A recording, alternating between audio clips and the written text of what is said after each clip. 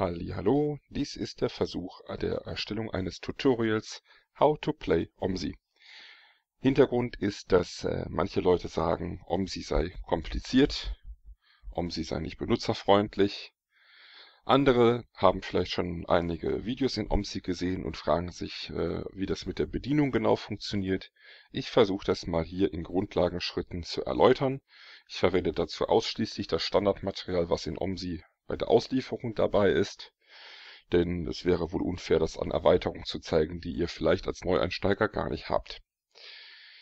Ähm, wir fangen an mit dem Tutorial auf der Karte Grundorf. Das ist quasi die fiktionale Testkarte, die zusätzlich zu Berlin-Spandau im Basispaket enthalten ist.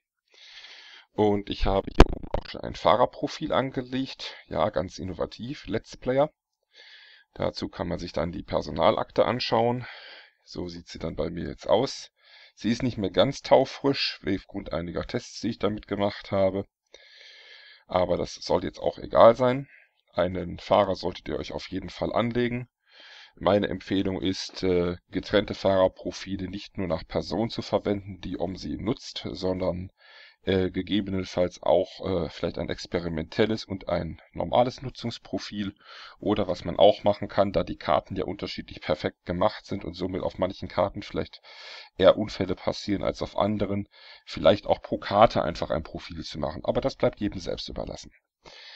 Ganz wichtig ist, wenn ihr eine Karte, die ja hier auswählbar ist, ich zeige das hier mal so mit der Maus, ähm, die Karte, die hier auswählbar ist, äh, zum ersten Mal startet, müsst ihr das unbedingt mit der Einstellung Karte ohne Busse laden tun, denn ansonsten taucht die Karte hier unter Umständen gar nicht auf, die ihr haben wollt.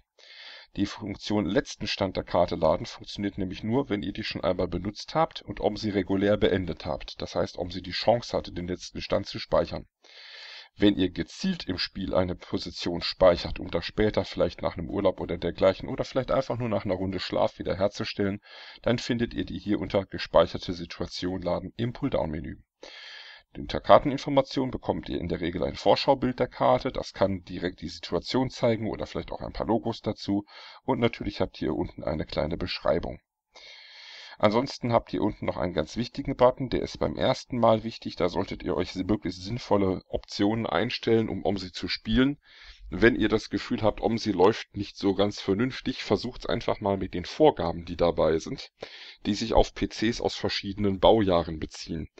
Allerdings habe ich den Eindruck, bei diesen Voreinstellungen handelt es sich um Vorschläge, die zwar zu dem PC-Baujahr passen könnten, aber nur, wenn es dann in diesem PC-Baujahr auch ein wirklich sehr modernes und leistungsfähiges Gerät war. Im Zweifelsfall geht ihr vielleicht einfach einen Jahrgang zurück. Optionen stellt ihr unter anderem auch ein, wie ihr den Ticketverkauf handhaben wollt, also den Fahrscheinverkauf an die Fahrgäste. Das zeige ich mal ganz kurz. Und zwar habt ihr hier die Möglichkeit, den Fahrscheinverkauf auf einfach zu stellen. Das ist die Methode, wo man äh, schlicht und einfach auch per Tastendruck sagen kann, gib den passenden Fahrschein und gib passend Rückgeld. Schaltet ihr den auf erweitert, müsst ihr tatsächlich am äh, Wechselgeld, an dem äh, Zahltisch tatsächlich die Tasten drücken für die einzelnen Münzen, die rauskommen sollen. Da müsst ihr selber zählen. Schaltet ihr den Fahrscheinverkauf auf kein, gehen die Leute am Fahrerplatz vorbei und tun so, als hätten sie alle schon eine Fahrkarte ist eigentlich hier so, so zu das Wichtige. Auch ein ganz nettes Feature, ich nutze es, hier unten gibt es die Möglichkeit aktuelle Zeit verwenden. Das heißt, beim Start von OMSI ist standardmäßig das Datum und die Uhrzeit genau auf das eingestellt, was ihr aktuell gerade habt. Nur das Jahr, das habe ich hier ausgelassen, weil dann stellt er nämlich das Jahr automatisch auf das Datum, das zu der geladenen Karte passt. Beispielsweise Spandau spielt ja in Berlin standardmäßig im Jahr 1988, 89 und entsprechend springt er dann auf das passende Jahr, aber die Jahreszeit, Sommer, Winter und dergleichen, das stimmt dadurch automatisch.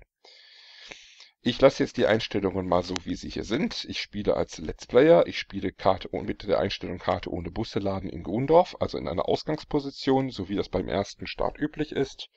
Und es gibt auf dieser Karte auch nur eine Linie.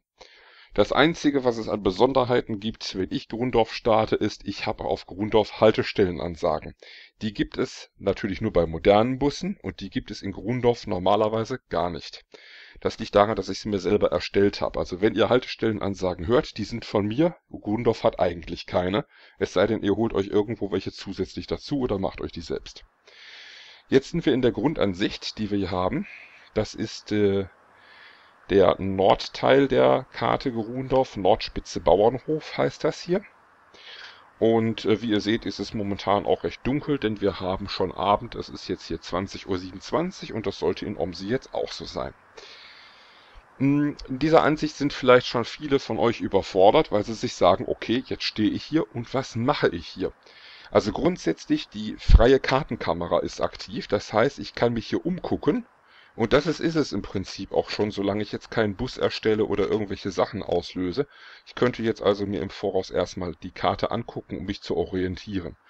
Das geht am allerbesten, wenn man sich noch etwas Hilfe dazu holt, nämlich die sogenannten Hilfspfeile, die einem äh, sagen, wo auf der Karte die einzelnen Linien langführen und die einem durch ihre leuchtende Eigenschaft auch schon von weitem zeigen, Achtung, hier kommt eine Haltestelle, bremst schon mal ab. Was äh, als allererstes wichtig ist, ist die Taste Alt. Denn über die Taste Alt bekommt ihr die Menüleiste in OMSI. Ohne die geht recht wenig. Zumindest wenn man was einstellen will. Im Fahrbetrieb später braucht man sie natürlich nicht so häufig. Höchstens wenn man einen neuen Fahrplan annimmt oder dergleichen. Ich drücke jetzt also einmal Alt und ihr werdet sehen, es taucht oben eine Menüleiste auf. Ich habe jetzt mein Aufnahmeprogramm extra so eingestellt, dass die mit aufgenommen wird. Das soll zwar nicht so performance äh, äh mäßig so gut sein, aber dafür sieht man es wenigstens. Und hier seht ihr oben eine ganze Menge Icons. Da sind auch gleich einige erschlagen vielleicht von euch und sagen, oh, so viele Icons und wir wissen gar nicht, was sie bedeuten. Ich versuche mal ganz kurz auf die wichtigsten einzugehen. Ähm, das Zeichen hier klappt die Menüleiste schlicht einfach wieder nach oben. Das passiert aber auch, wenn ihr Alt loslasst und irgendwo in der Karte herumklickt, dann ist die Leiste auch wieder weg. Hier kann man äh, die Karte wechseln, auf der man gerade unterwegs ist oder eine gespeicherte Situation laden.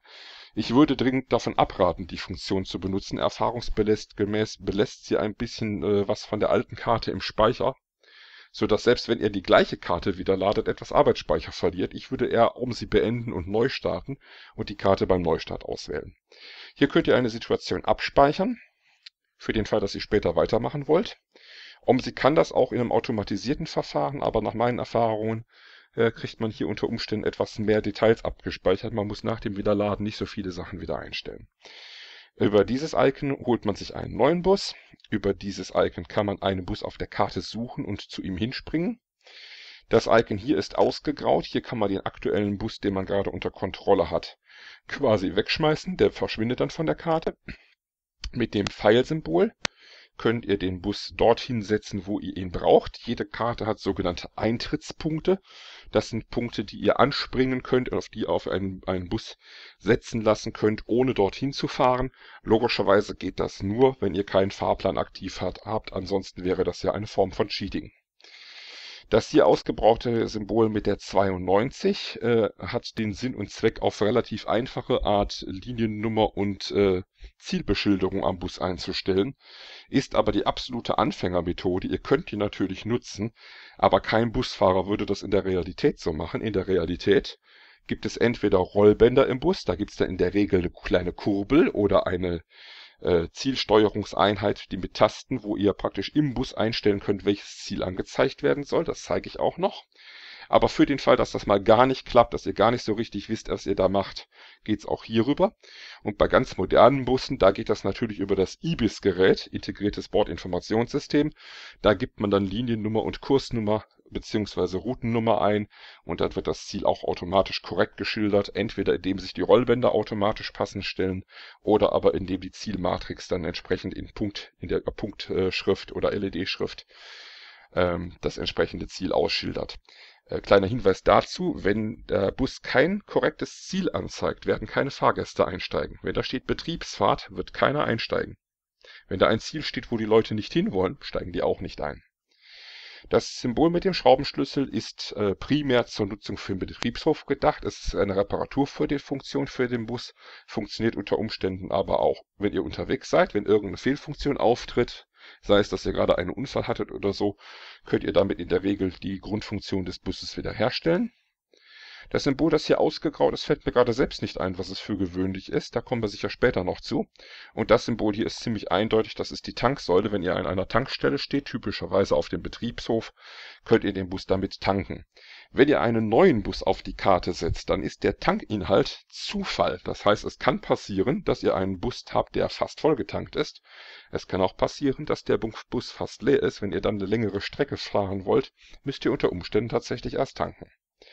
Das Symbol mit dem Martinshorn, mit dem Blaulicht, ist dazu da, die Polizei zu rufen. Das solltet ihr immer dann tun, wenn OMSI euch mitteilt, dass ihr einen Unfall hattet. Das taucht typischerweise oben in der Statuszeile auf, die ihr bisher jetzt noch nicht zu sehen bekommen habt. Das kommt gleich noch. Wenn ihr die Polizei ruft, denkt dran, es kostet Zeit, denn die Unfallstelle muss ja erst geräumt und die Personalien aufgenommen werden. Das wird zwar nur kurz zusammengefasst simuliert, aber die Zeit geht euch in eurem Fahrplan verloren. Ihr habt hinterher eine Verspätung. Seht besser zu, dass ihr keine Unfälle habt.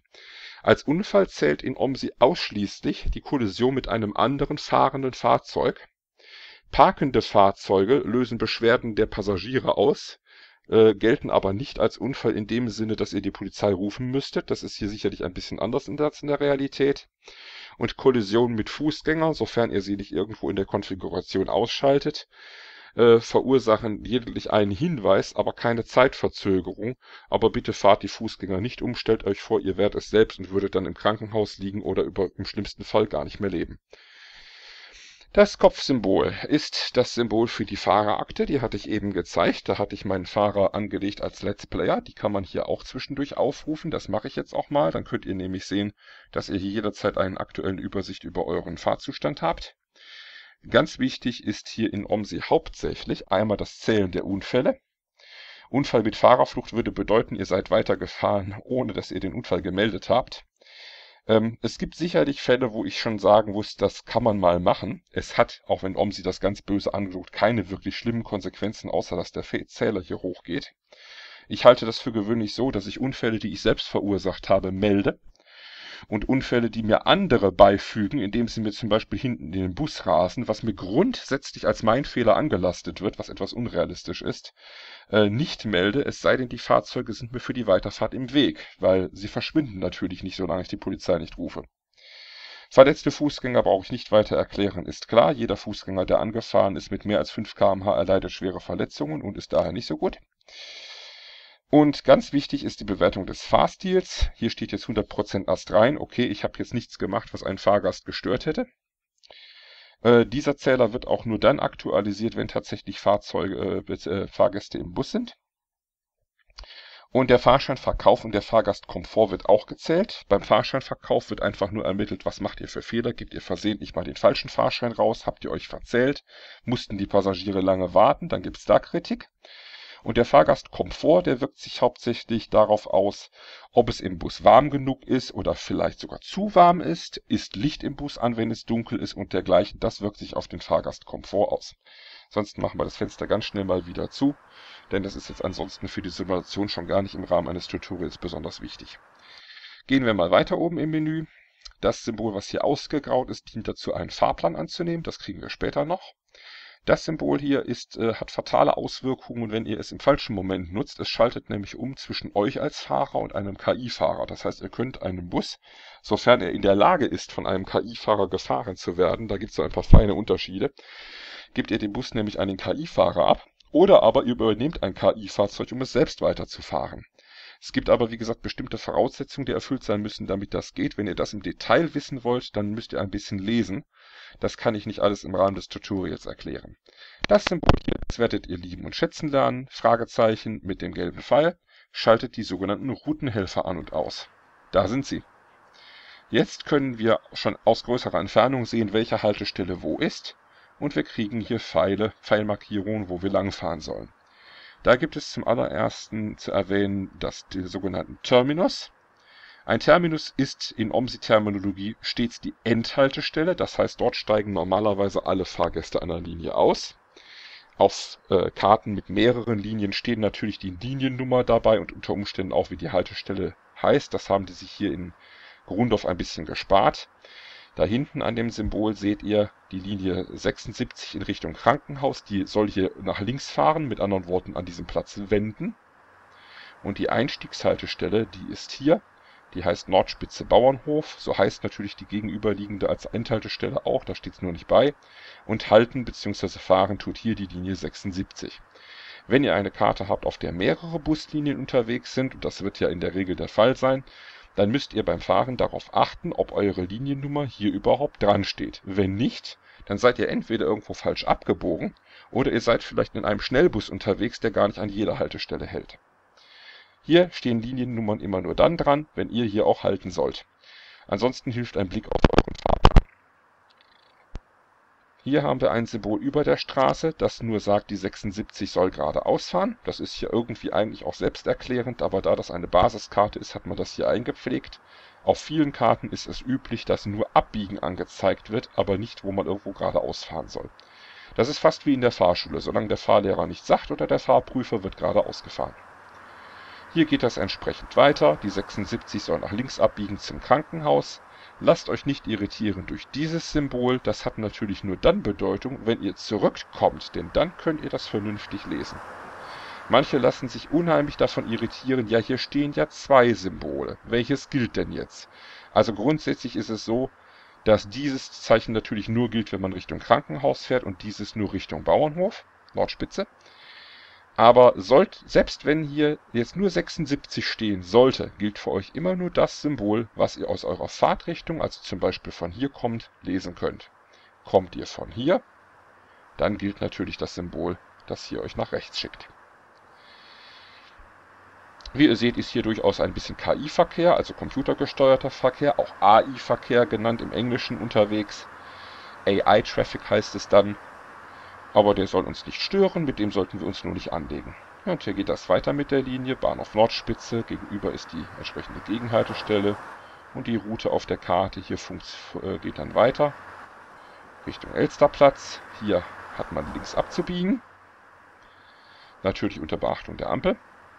Dann kommt Gausdorf, das ist eine recht kurze Linie, deswegen kann ich die kurz abfahren, ohne dass das zu lange dauert. Wie das geht, sage ich gleich auch noch kurz. Einsteindorf Ausbaugebiet. Dann kommt Einsteindorf Marktplatz.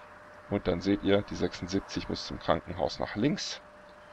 Und da ist dann auch schon die Endhaltestelle. Und hier steht gerade der Bus der Linie 76, der automatisch zurzeit verkehrt. Der fährt so lange automatisch, wie ihr ihn nicht ablöst. Er fährt auch automatisch, wenn ihr den Bus nicht ablöst, sondern ihn ergänzt, also als Verstärker fahrt. Hier gibt es wieder zwei Haltestellen, das ist nicht überall so, aber hier gibt es wieder eine separate Endhaltestelle für das Krankenhaus, Terminus genannt. Und es gibt hier einmal die Einstiegshaltestelle, wo die Leute vom Krankenhaus auf der Rückfahrt wieder einsteigen können. Warum hat man das getrennt? Weil der Bus an dem Terminus natürlich seine Pause macht, wenn er denn eine hat. Und erst wenn die Pause zu Ende ist, fährt er vor zur Einstiegshaltestelle, wo die Leute für die Rückfahrt einsteigen können. Na gut, jede Pfeiler links. Ich weiß nicht, fährt irgendjemand von euch freiwillig in ein Haus hinein? Ich würde sagen, jeder fährt hier links, ohne dass das ausgeschildert wäre. Und hier geht es dann wieder zurück nach Einsteindorf Ausbau. Und wie ihr seht, fährt der Bus dann auch genau die Route zurück, die wir hergekommen sind, denn das hier ist nichts weiter als eine Art Wendeschleife um den Häuserblock. Einsteindorf Marktplatz gibt es nur in der Hinrichtung. Auf der Rückrichtung kommt man vom Krankenhaus direkt wieder nach Ausbau. Oh, wir können dem Bus jetzt mal folgen. Der wird natürlich jetzt an jeder einzelnen Haltestelle hier anhalten und seine Fahrgäste mitnehmen. Oder sollte ich sagen, unsere Fahrgäste, wenn denn welche da wären. Hier steht gerade gar keiner. Die Leute laufen alle hier nur so durch die Gegend. Er dürfte niemanden finden, den er mitnehmen kann. Und schaut mal, er fährt sogar durch. Wow, der Bus fährt durch unsere Kamera. Ja, wie bewege ich mich auf der Karte? Ähm, es handelt sich bei dieser Standardkamera hier um die sogenannte freie Kartenkamera. Die findet ihr auf der Taste F4. Mit F4 könnt ihr jederzeit auf diese freie Kartenkamera umschalten. Ihr solltet euch allerdings hüten, das bei voller Fahrt zu tun, es sei denn, ihr seid also absolute OMSI-Profis und haltet den Bus auch dann noch unter Kontrolle, wenn ihr ihn vorübergehend unter Umständen gar nicht seht. Auf der freien Kartenkamera kann ich mich mit zwei Methoden bewegen. Ich kann einmal die mittlere Maustaste drücken, bei manchen Mäusen drückt man auch direkt auf das Mausrad dann erscheint dieser Viereckspfeil und damit kann ich jetzt die Karte durch das Bewegen der Maus drehen oder kippen. Das nützt mir alles recht wenig, wenn ich mich vorwärts bewegen will. Dazu lasse ich die Taste wieder los und klicke einen Zielpunkt, zum Beispiel hier hinten die Kurve mit der rechten Maustaste an. Dann zoomt die Kamera genau dorthin, indem sie sich dorthin bewegt. Es ist kein Vergrößern, sondern nur ein dorthin springen. Ihr seht, das passiert hier, wenn ich jetzt die Route abfahre. Ich klicke immer wieder mit der rechten Maustaste. Das müsstet ihr als blaue Kringel zu sehen kriegen. Blaue Kringel heißt bei meinem Aufnahmeprogramm, die rechte Maustaste wurde gedrückt. Die linke Maustaste hat hier im Moment keine besondere Funktion, damit könnte ich höchstens Gegenstände anwählen, zum Beispiel indem ich versuche, einen Bus zu übernehmen. Was ich noch machen kann, ich kann die rechte Maustaste gedrückt halten, dann erreiche ich diesen Aufwärts-Abwärts-Pfeil, den ihr jetzt seht. Und damit kann ich jetzt tatsächlich zoomen. Ich kann also irgendwo ganz nah herangehen oder auch ganz, ganz weit weg und mir die Karte von oben angucken. Wenn es ein sehr großer Bereich ist, dann werden die Gebäude unter Umständen einen Moment nicht sichtbar sein, bis die Texturen geladen werden. Und wenn ich jetzt ganz weit rausgehe, dann seht ihr auch, die Karte ist natürlich nur so weit bebaut, wie das fürs Fahren auch notwendig ist. Niemand stellt hier mühsam Häuser auf auf so einer Karte, wenn die vom Bus aus bei der Fahrt nicht zu sehen sind. Also seid nicht enttäuscht, dass der Rest hier leer ist. Das würde nur Rechenleistung brauchen. Wenn ihr fahrt, merkt ihr davon sowieso nichts. Äh, gleich mal als kleiner Hinweis, manche meckern, wenn irgendeine Karte, die von Hobbyisten erstellt wurde, nicht perfekt ist oder wenn es heißt, ja, es soll eine neue Karte rauskommen für OMSI, wann kommt die denn endlich? Leute, denkt mal dran. Erstens, die meisten Leute, die ihre Karten veröffentlichen, tun das für Nippes. Das heißt, es ist ein Hobby, da gehen viele, viele Stunden rein und jedes Objekt, und ich meine wirklich jedes Objekt, manche Sachen, die einfach aussehen, bestehen aus mehreren Komponenten, müssen einzeln auf der Karte platziert werden und der Editor zur OMSI, um das zu erstellen, ist nicht unbedingt einfach in der Handhabung. Das kann man wirklich nicht sagen. Es gibt nicht mal eine Undo-Funktion, wenn man sich geirrt hat. Das heißt, wenn der Mapbauer irgendwas versehentlich falsch macht, muss er unter Umständen mehrere Schritte zurück zu einem gespeicherten Zwischenstand und das kann da schon echt nerven. Also bitte etwas Respekt vor denjenigen, die Maps in ihrer Freizeit bauen und die kostenlos zur Verfügung stellen. Meckern dürft ihr echt nur, wenn's Geld gekostet hat. Ansonsten lasst das, das macht man nicht. Ja, kurze Rede, langer Sinn. Ihr habt jetzt gesehen, wie man sich auf dieser Karte bewegen kann. Rechte Maustaste, um irgendwo hinzuspringen, rechte Taste festhalten und Maus hoch runter bewegen zum Zoomen, mittlere Taste bzw. Mausrad halten zum Drehen und Schwenken. Und damit habt ihr zumindest schon mal die Möglichkeit, euch umzugucken. Der nächste Schritt wird es natürlich sein, einen Bus anzulegen, also einen neuen Bus auf die Karte zu setzen. Ich mache das bewusst nicht mit dem Übernehmen des KI-Busses, indem ich den jetzt selber weiterfahre, weil das nicht immer geht. Und äh, die sauberste Methode ist eigentlich, erstellt selbst einen Bus, nehmt einen Fahrplan an und der Bus, der gerade da auf der Linie unterwegs ist, der wird dann von der Haltestelle, wo auch immer er gerade weg äh, steht, sobald er seinen Teil des Fahrplans abgearbeitet hat, wegfahren, irgendwo ins Richtung Betriebshof und von der Karte verschwinden und wenn ihr den Fahrplan aufgebt, dann wird ein neuer KI-Bus erscheinen und die Fahrt fortsetzen. Macht am wenigsten Probleme und ihr habt die freie Buswahl, denn so könnte ich ja jetzt nur das Busmodell nehmen, was hier vorgegeben ist und das ist ja vielleicht gar nicht der, den ihr wollt. Ich werde jetzt bewusst mit einem ganz alten Busmodell anfangen, denn die Bedienung unterscheidet sich. Ich werde die auch für verschiedene Busmodelle zeigen. Allerdings beschränke ich mich jetzt erstmal auf die Busse, die OMSI standardmäßig hat. Wir rufen jetzt über die Menüfunktion mal das Icon für einen neuen Bus auf. Das ist hier. Für die, die es Englischen immer noch nicht mächtig sind, das sollte eigentlich in Deutschland gar nicht mehr der Fall sein. Da steht New für neu. Das Symbol hat man nicht übersetzt. Ich glaube, das wäre auch übertrieben. So sollte es eigentlich international verständlich sein. Das dauert jetzt ein kleines bisschen. Das geht bei euch unter Umständen sogar schneller, denn ich habe eine ganze Menge Busse installiert. Und jeder Bus, der installiert ist, wird einmal gescannt. So, jetzt seht ihr auch schon, ich habe hier den Hamburger Stadtbus, der gehört zum Add-on Hamburg Tag und Nacht. Den wollen wir natürlich jetzt nicht, denn den habt ihr unter Umständen gar nicht. Wir gehen zu den MAN-Bussen, die standardmäßig vorhanden sind, zumindest teilweise. Den habt ihr auch nicht standardmäßig, das ist auch ein zusätzlicher. Standardmäßig dabei sind die SD200 bis SD202, allerdings ohne die RVB-Variante und ohne den D94, die sind auch extra. Die wollen wir jetzt also gar nicht berücksichtigen. Wir fangen an mit dem alten Basismodell, das ist der ST200 SD77, den hat jeder. Und hier können wir uns jetzt auch noch ein freies Design dafür aussuchen, wie soll der Bus lackiert sein. Das hat keine Auswirkung darauf, wie der Bus sich fährt. Das ist reine Optik, aber es ist halt etwas unrealistisch, wenn der Bus nur in seinen Basisfarben durch die Gegend fährt. In der Regel wird ja Werbung gemacht Oder es ist vielleicht ein besonderes Painting drauf, das die Verkehrsgesellschaft widerspiegelt. Davon habe ich hier, wie ihr seht, auch schon ein paar. Spitterberg ist eine Verkehrsgesellschaft der Karte Spitterberg. Verkehrsverbund Kienzauerland gehört zur Karte Bad Kienzau. Alles unwichtig für euch. Ihr nehmt einfach eins, das euch gefällt und das ihr zur Verfügung habt. Ich nehme jetzt hier mal, ach, ich nehme Lotto Toto Spiel 77. Das ist Werbung, die dürfte in etwa jeder kennen. Einfach nur Werbung für staatliche Lotto, dann bevorzuge ich hier auch keine Privatunternehmen oder dergleichen, das tue ich nämlich nicht gerne. Ganz wichtig ist, ihr müsst den richtigen Betriebshof ausgewählt haben. Der muss immer passen zu der Karte, die ihr aktiv habt. Also zur Grundorf-Karte nehme ich natürlich auch den Grundorfer Betriebshof. Wenn ihr auf der Karte Berlin unterwegs seid, dann nehmt ihr natürlich den Betriebshof Spandau. Das ist deswegen wichtig, weil OMSI sonst nicht weiß, beziehungsweise der Bus sonst nicht weiß, welches Linienrollband und welche Liniencodes in, in dem Bordinformationssystem zur Verfügung sein sollen, und dann werdet ihr äußerst große Schwierigkeiten haben, die Linie korrekt zu fahren. Die Fahrzeugnummer könnt ihr euch frei aussuchen. Das ist nichts weiter als eine Wagennummer, die dann irgendwo auf dem Bus im Idealfall draufsteht.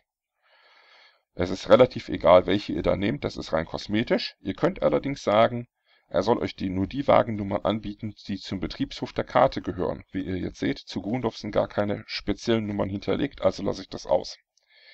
Ich nehme jetzt einfach mal hier die 2900 und lasse mir jetzt noch ein Kennzeichen einfallen.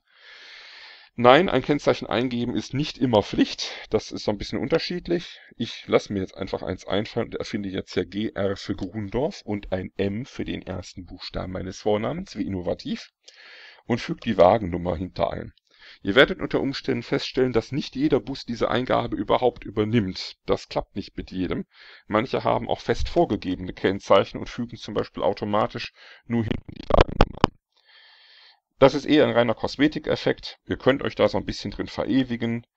Ähm, aber denkt dran, also in Deutschland fahren normalerweise die Busse schon mit Kennzeichen der Gemeinde und dann einem Kürzel, eventuell noch die Verkehrsgesellschaft betreffend und dann der Zahl dahinter. Ähm, wenn da jetzt einer hinschreibt Hugo oder dergleichen, dann sieht das ein bisschen albern aus. Wir sind ja hier nicht bei den Truckern, wo die Namen der Fahrer hinter der Windschutzscheibe geklemmt sind und auf so ein Kennzeichenschild geprägt sind. Dann wählen wir OK an und werden gefragt, wo soll das Fahrzeug denn starten? Das sind die sogenannten Eintrittspunkte, die ihr auch hier oben über die Setzen-Funktion auswählen könnt, wenn ihr den in dem Bus nachträglich umsetzen wollt. Wie gesagt, das geht nur, solange ihr keinen Fahrplan aktiv habt. Und ich wähle jetzt mal als Startpunkt Nordspitze Bauernhof, wo ja auch der KI-Bus gerade steht. Nein, der wird den jetzt nicht in den KI-Bus hineinsetzen, sondern der setzt den dahinter. Ich wähle mal OK an. Das dauert einen kurzen Moment. Und jetzt haben wir einen Bus, der dem davor recht ähnlich sieht. Ist es der gleiche? Gucken wir mal. Nein, der ist noch älter. Wenn ihr mal schaut, der da hinten hat das Rollband oben über der Fahrertür. Und der hier hat es noch im Fenster. Also ich habe hier das älteste Modell und der da vorne ist ein bisschen neuer. Das soll uns aber nicht stören. Fahren tut er genauso. Der hat höchstens ein bisschen weniger Motorleistung, aber das ist bei einem Bus sowieso nicht so die Welt. Wenn ihr denkt, oh, so ein Riesenbus, der hat sicher hunderte Pferdestärken. Naja, so viel ist es gar nicht. Also der Bus liegt, glaube ich, um die 200 Pferdestärken. Und das hat so manches Auto. Und manches Auto hat mehr. Die fahren ja auch nicht auf Tempo, die fahren eigentlich nur auf, äh, ja, aufgrund des äh, hohen Gewichts müssen sie ein bisschen Motorleistung haben, ansonsten fahren sie in der Regel nur im Stadtverkehr. Die meisten Busse kommen auf 70, 80 km/h, es gibt auch Busse, die kommen auf 100, aber im Linienbusverkehr wird ja meistens sowieso nicht schneller gefahren. Wo soll man auch so schnell fahren, wenn alle paar hundert Meter eine Haltestelle kommt? So, mit dem Aufrufen des Busses sind wir jetzt in eine andere Kartenansicht gewechselt, beziehungsweise auf eine andere Kamera. Das ist jetzt die Außenkamera des Busses, die habt ihr auf der Taste F3. Wenn ich auf F4 schalte, kann ich mich wieder frei bewegen. F3 ist an den Bus gekoppelt. Das heißt, egal welchen Winkel ich jetzt einstelle, würde der Bus sich bewegen, würde die Kamera folgen. Ich kann mich damit um den Bus herumdrehen, ich kann wie gewohnt ran und rauszoomen und ich kann natürlich auch in den Bus hineingucken, wenn ich ganz nah rangehe, dann kann ich mich natürlich auch ein bisschen von außen im Bus umgucken. Das ist unter Umständen dann auch ein bisschen erquicklicher, als wenn man sich nur innen umguckt, denn so kann man in fast jeden Winkel gucken, wenn man es geschickt anstellt. Und so kann man sich ganz gut orientieren. Die Kamera ist dann nützlich, wenn ihr zum Beispiel wissen wollt, steht da noch Leute an der Haltestelle. Dann nehmt ihr so eine Ansicht, so wie ich es jetzt stehen habe. Wäre jetzt rechts von mir eine Haltestelle, könntet ihr recht gut beobachten, ob da Leute stehen, ob die ein- und aussteigen und dergleichen. Geht natürlich für den Profi auch von innen. Geht dann halt über Spiegel oder übers Umblicken, ist dann vielleicht nicht ganz so übersichtlich, wie wenn ihr das mal so macht. Dann wechseln wir auf die Innenkamera, das ist die Taste F2. Jetzt befinden wir uns im Fahrzeug. Das ist natürlich noch ein bisschen dunkel innen drin, weil es ja schon Abend ist. Und wir befinden uns hier auf dem unteren Passagierdeck hinter der hinteren Hintertür. Ähm, das heißt mit anderen Worten, wir sind fast am Heck des Fahrzeuges. Wir können uns hier auch mit der Kamera bewegen. Na, wir sind direkt an der Heckscheibe. Können uns hier umgucken, ob hier Leute sitzen, wie die Sitze gestaltet sind. Die sind eigentlich ganz nett gemacht. Wir können die Treppe sehen, die nach oben geht. Die verbirgt sich hier seitlich. Das ist so eine kleine Wendeltreppe. Davon hat dieser Bus auch nur eine. Das heißt, hoch und runter ist man sich unter Umständen ein bisschen im Weg. Die moderneren Busse, die haben davon zwei. Die hinteren Türen sind bei den standardmäßig mitgelieferten Modellen, weil es ja sich um Berliner Modelle handelt, automatisiert. Das heißt, die steuert ihr nicht direkt, sondern ihr gebt sie nur frei und sperrt sie wieder. Das Öffnen und Schließen übernehmen die selbst. Die vordere Tür habt ihr unter eurer Kontrolle, denn die habt ihr ja auch direkt im Blick. Wie war das noch in Berlin, wenn da mal jemand noch halb in der Tür steht und die sich deswegen nicht schließt? Sagt der Fahrer, können Sie mal bitte aus der Tür, aus dem Türbereich raustreten, wir kommen hier sonst nicht weg. Ja, äh, die Kamera kriegt man übrigens in eine Grundposition zurück, wenn sie einem nicht mehr so gefällt, wie man sie angewählt hat, indem man die Taste C drückt. Wenn ihr jetzt weitere Ansichten haben wollt, nutzt ihr dazu die Cursor-Tasten im Cursor-Block, und zwar die Tasten links und rechts. Ich gehe jetzt mal auf die Taste rechts mit jedem Schritt und ihr werdet sehen, dass sich meine Position im Bus verhindert. Jetzt habe ich zum Beispiel direkten Blick auf die hintere Tür das könnte ich mir jetzt zum Beispiel in dieser Ansicht stehen lassen. Dann kann ich während der Fahrt mal nachgucken, ob hier noch jemand rein und raus geht. Ich kann noch einmal weitergehen. Jetzt bin ich im vorderen Bereich des Busses, gucke so ein bisschen schräg auf den Fahrerarbeitsplatz und auf die vordere Tür, die ich rechts an der Seite noch habe. Sehe natürlich auch, was vor dem Bus steht. Man kann natürlicherweise hier durchgucken, durch die Scheibe.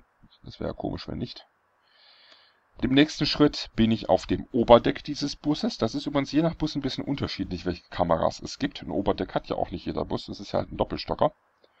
Und kann jetzt hier vorne rausgucken. Das ist sicherlich ganz nett, vor allem wenn ich den Kamerawinkel ein bisschen drehe. Dann kann man die ganze Fahrt von oben genießen. Man sollte nur nicht vergessen, wenn man selber fährt, ist der Blickwinkel von hier aus natürlich anders. Das könnte beim Lenken dem Unerfahrenen doch arge Schwierigkeiten bereiten. Und so kann man sich auch jetzt von hier von vorne umgucken im Bus. Das geht ganz nett. Und hier könnt ihr dann gleich auch ein bisschen ausprobieren, was man alles bedienen kann. Hier das zum Beispiel sind ja Klappfenster. Die kann ich ja auch ganz natürlich, indem ich die anklicke, öffnen oder schließen. Aber denkt dran, die Leute achten auf den Komfort im Bus. Im Winter sollten die schon zu sein, sonst frieren die Leute hier. Hm, hier ist keins, nein. Gut, Grundposition wieder mit C und ich gehe mit den Pfeiltasten wieder weiter. Jetzt bin ich im Oberdeck im hinteren Bereich. Hier kann man auch sehen, hier angedeutet ist die Treppenbereich, wo es nach unten geht. Das sind keine besonders breiten Treppen. Ich weiß nicht, ob ich mich da lang trauen würde. Ich bin ein bisschen größer, ein bisschen breiter gebaut. Auch von hier aus kann ich natürlich Elemente, an die ich drankomme, bedienen. Auch hier kann ich mich umgucken, wie ich will. Und wenn ich nochmal drücke auf die Taste rechts, bin ich wieder unten. Soviel zum Rundgang durch den Bus. Das funktioniert mit jedem Bus in etwa gleich, deswegen zeige ich das auch nur einmal. Schlussendlich komme ich mit der Taste F1 an den interessantesten Platz, denn damit komme ich auf den Fahrerplatz und kann mich hier umgucken. Hier haben die Pfeiltasten eine ähnliche Bedeutung. Hier kann ich mich mit den Pfeiltasten einerseits umgucken. Zweimal nach rechts und zweimal nach links ist in der Regel interessant. Nach links unter Umständen auch noch ein drittes oder viertes Mal, um ganz weit nach links aus dem Fenster zu gucken. Die Taste nach rechts braucht ihr hauptsächlich, um die Tür zu sehen und den rechten Außenspiegel, den seht ihr standardmäßig nämlich nicht. Den linken Außenspiegel kann man meistens beim Geradeausschauen auch erkennen. Hier ist der sogar recht prominent sichtbar, bei manchen hängt er ein bisschen hoch, ist unterschiedlich. Das ist busspezifisch. Nachdem ihr nun wisst, dass ihr euch hier mit links und rechts umgucken könnt, gibt es auch hier die Möglichkeit, sich frei mit der Kamera ein bisschen zu bewegen von diesem Platz aus, um zum Beispiel hier das Gerät zu finden, womit man das Zielband einstellen kann. Das geht hier über ein Nummernsystem. Das ist also für die Außenanzeige investiert. Hier sind verschiedene Ziele auch aufgelistet. Das ist kartenabhängig. Jede Karte hat hier einen eigenen Plan, es sei denn, er fehlt. Aber normalerweise steckt hier ein Plan mit den Nummern, die ihr als Ziel einstellen könnt. Gut, die üblichen Schilder während der Fahrt nicht mit dem Fahrer sprechen und so, die sind natürlich realistisch übernommen worden. Das ist ja auch nicht weiter schwer. Hier gibt es noch eine zusätzliche Kassenbeleuchtung. Die geht normalerweise auch automatisch mit der offenen Fahrertür hier an. Achso, nach links gibt es die übrigens nicht. Die gibt es schon wirklich nur hier für die Passagiere auf der rechten Seite. Da geht auch der Fahrer rein und raus. Dann habt ihr hier euren Zahltisch, wo ihr das Geld Fahrgäste entgegennehmt, was ihr dann hier in die Münzfächer einsortiert. Das funktioniert ganz einfach, indem man die Münzen anklickt. Und dann könnt ihr natürlich hier über die Taste auch Wechselgeld geben. Das ist ein System, das basiert auf der D-Mark, die vielleicht manche ganz junge YouTube-Zuschauer gar nicht mehr kennen oder nur noch aus Berichten oder Erzählungen. Das war vor dem Euro, denn äh, die Standardkarten aus OMSI spielen ja im Jahr 1988, 89, da gab es den Euro noch nicht. Dieser Bus hier verfügt übrigens nicht über eine Taste für 5 D-Mark Münzen. Man könnte meinen, das sind Euro, nein, es sind 2 Mark Münzen gemeint.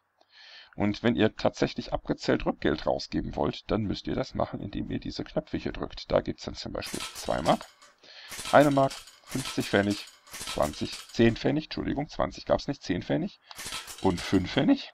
Habt ihr euch vertan und ein paar zu viel rausgegeben, nehmt ihr die hier einfach wieder weg. Und die Tastenreihe da drüber gibt mehrere Münzen auf einmal aus. 3 mal 5, 3 mal 10, die braucht man häufig. 3 mal 50, habe ich noch nicht persönlich gebraucht, aber mag es ja geben. Und die beiden Tasten, die machen das anders. Die geben 4 mal 1 Mark bzw. 4 mal 2 Mark raus. 4 mal 2 Mark braucht man tatsächlich relativ häufig. Nimmt jemand ein Kurzstreckenticket, das kostet meistens 1 Mark 70 und zahlt mit einem 10 Mark Schein, na was gebt ihr raus? 1 mal 8 und 3 mal 10, das sind jetzt 8 Euro, äh, 8 D-Mark 30. Und dann habt ihr passendes Wechselgeld auf einen 10 D-Mark Schein rausgegeben für die Kurzstreckenkarte. Wenn der Fahrgast einen normalen Fahrschein nimmt, der kostet 2,70, da funktioniert es natürlich leider nicht auf dem Trick. Ich gebe das Beispiel anhand einer 10 D-Mark Note. Das wären ja dann nicht mehr 8,30 Rückgeld, sondern nur noch 7. Ja, da muss man halt ein bisschen drücken. Ne? 1, 2, 3, 6, 7, 37, das wäre das Rückgeld. Soviel zum Taltisch.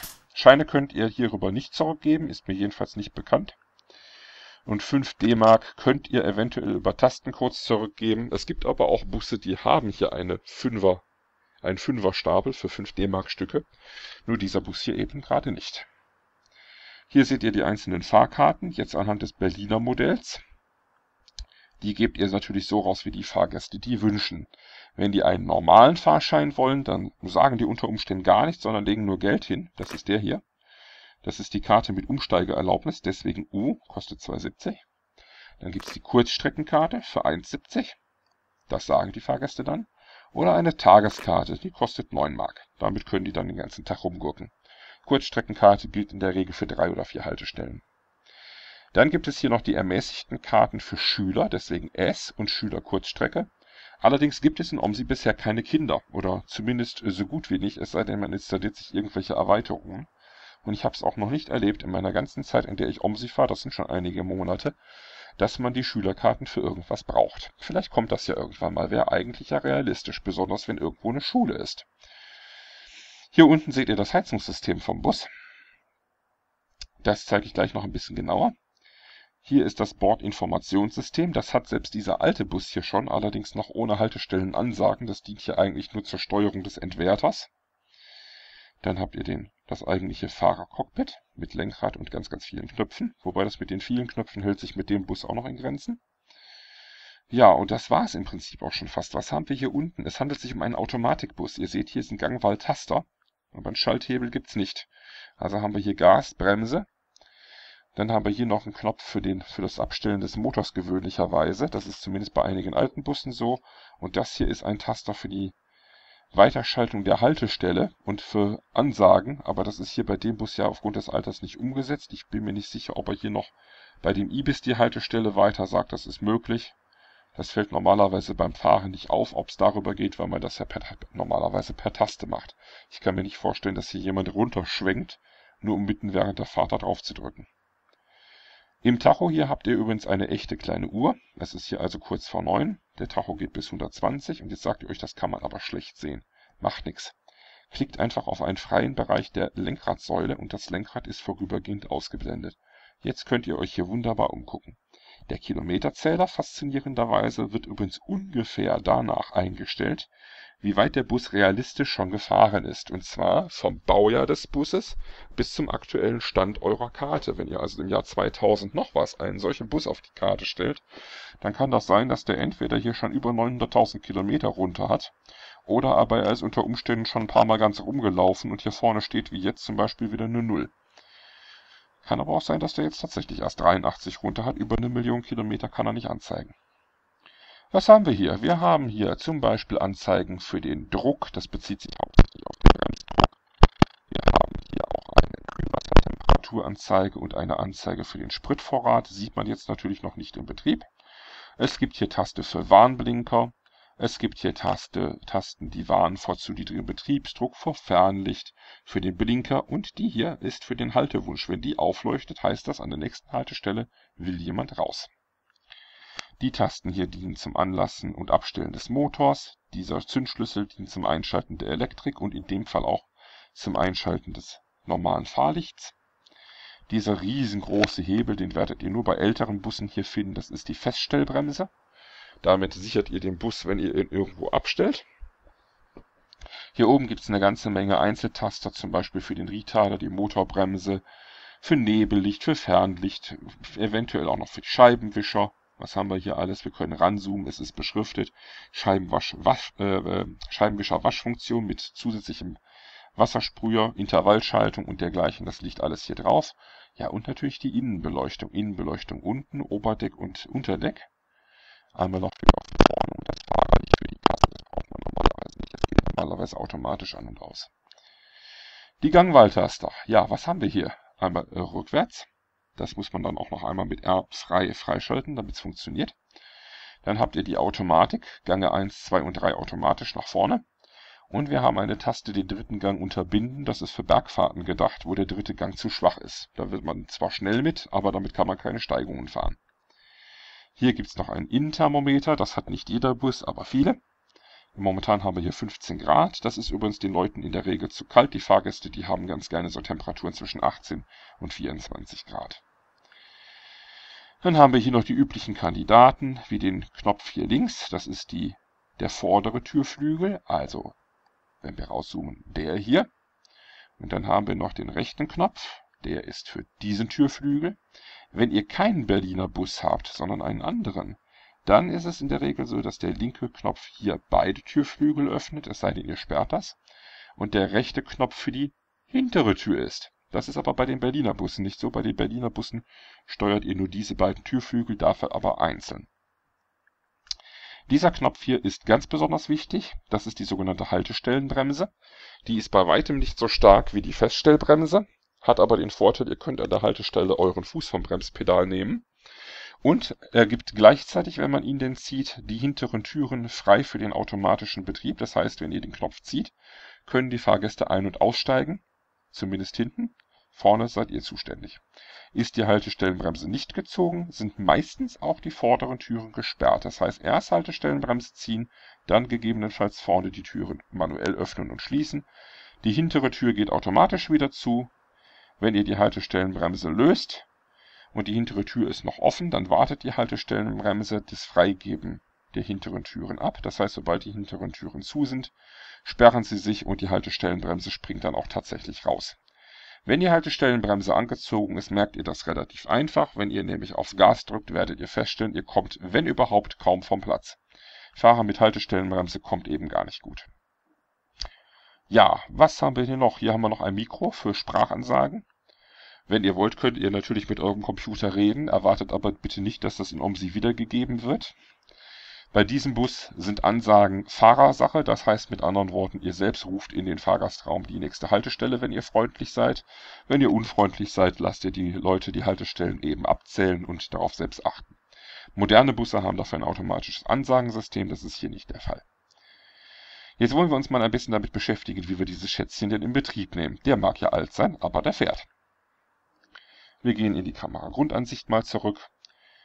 Ich lasse es trotzdem etwas geschwenkt. Ich blende das Lenkrad auch nochmal kurz aus.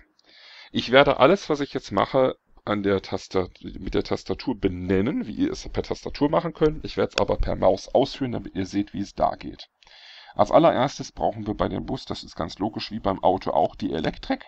Das geht, indem ich einfach mit der Maus, mit der linken Maustaste den Schlüssel anfasse und ihn runterdrücke. Schwupp, die Elektrik springt an. Ihr hört die bekannte Ibis Startmelodie. Die habt ihr vielleicht auch in echten Bussen schon mal gehört. Das Ibis-System ist hier in der Grundeinstellung, zeigt noch nichts groß an. Und wir haben hier natürlich eine Warnlampe, dass Betriebsdruck fehlt und der Motor noch nicht wirklich läuft. Also mit anderen Worten, Öldruck fehlt auch noch. Das Funkgerät, das hier hinten imitiert wird, aber keine besondere Funktion hat, zeigt auch an, dass es Strom hat. Hier oben zeigt sich noch nichts weiter. Und wenn wir von außen gucken, wird der Bus auch noch ziemlich dunkel sein. Da tut sich noch gar nichts. Also mit F1 wieder zurück ins Cockpit. Dann starten wir mal den Motor. Das geht hier mit dieser Taste. Der Motor läuft, zumindest ein Minimum an Betriebsdruck ist da. Bei manchen Bussen gibt es hier auch noch einen kleinen roten Stift, der erst zur linken Seite wegklappen muss, damit, wenn ihr genug Betriebsdruck erreicht habt, einen Bus mit etwas zu niedrigem Betriebsdruck zu bezeigen, ist gefährlich, denn dann habt ihr Probleme mit den Bremsen und den pneumatischen Türen. Pneumatisch heißt, die Türen arbeiten in der Regel mit Druckluft. Bei den moderneren Bussen sind sie elektrisch.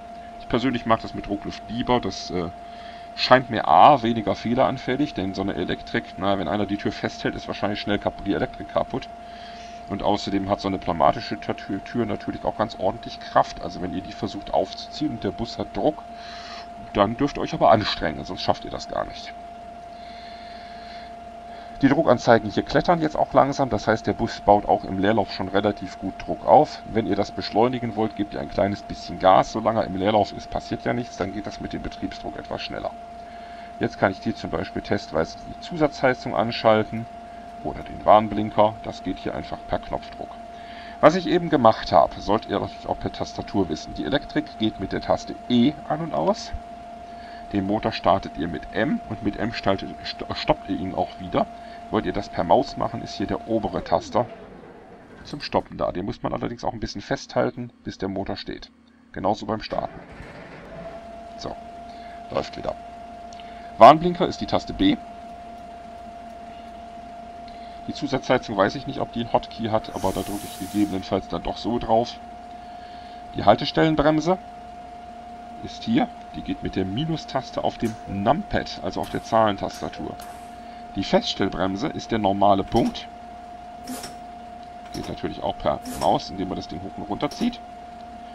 Da der Bus hier eben steht, besteht jetzt keine Gefahr, wenn ich den jetzt gelöst lasse. Ja, und wie ich sagte, die Türen funktionieren natürlich nur, wenn die Haltestellenbremse äh, anliegt. Das heißt, der Knopf muss gezogen sein. Dann kann ich hier drauf drücken und die Türen gehen auf.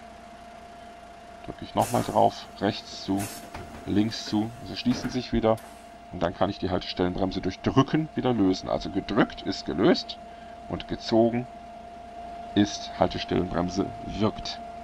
Um das per Tastatur zu machen, das Minus auf dem Numpad löst die Haltestellenbremse aus. Der Geteiltstrich, also der Schrägstrich über der 8, aktiviert den Knopf für die vorderen Türflügel. Und das Sternchen, das Malzeichen, löst die rechte Tür aus. Wenn ich das Ganze an der Haltestelle richtig schnell machen will, dann mache ich das folgendermaßen. Den Stern, den Schrägstrich und das Minus, zack, Türen zu, Haltestellenbremse gelöst. Umgekehrt komme ich an der Haltestelle an, Minus drücken, Haltestellenbremse aktiv, Schrägstrich und Stern, um die beiden Türen zu öffnen. Übrigens, äh, wer diese Busse kennt, der weiß, dass in der Regel die, der linke Türflügel die, die größere Gummilippe hat.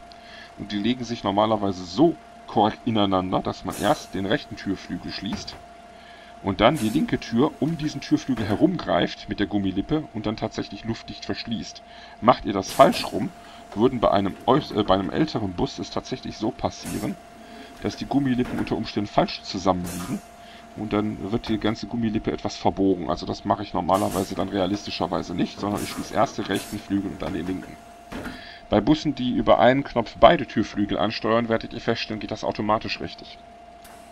Das ist jetzt aber schon fast was für den, naja, Profi. Da werdet ihr in den meisten Fällen nicht drauf achten. Zumindest nicht am Anfang, denn dann habt ihr jede Menge andere Sachen im Kopf als das. Dann brauchen wir natürlich, um fahren zu können, bei Dunkelheit Licht. Das Licht, wie intuitiv, ist auf L, beziehungsweise wenn ich den Schlüssel drehe. Bei manchen Bussen ist dazwischen noch eine Zwischenstellung. Jetzt ist nämlich das Licht nur als Standlicht an. Das sieht man jetzt, ist zwar alles beleuchtet, aber nur schwach. Und das eigentliche Fahrlicht, was L auslöst, geht mit der Stufe weiter. Das ist das eigentliche Fahrlicht. Da seht ihr, da könnte man jetzt richtig mit durch die Gegend fahren. Das sieht man ordentlich. Taste L, Licht an und aus. Gangwahltaster, ja, das ist ziemlich einfach. Der Bus hier kennt nur die normalen Fahrstufen. Ich lege jetzt nochmal die Feststellbremse rein, damit er mir nicht wegrollt. Ich kann D drücken, oder eben die Taste, die sich bewegt hat, um den normalen Fahrbetrieb einzuleiten. N neutral, um die wieder rauszunehmen. Mit R bekomme ich den Rückwärtsgang.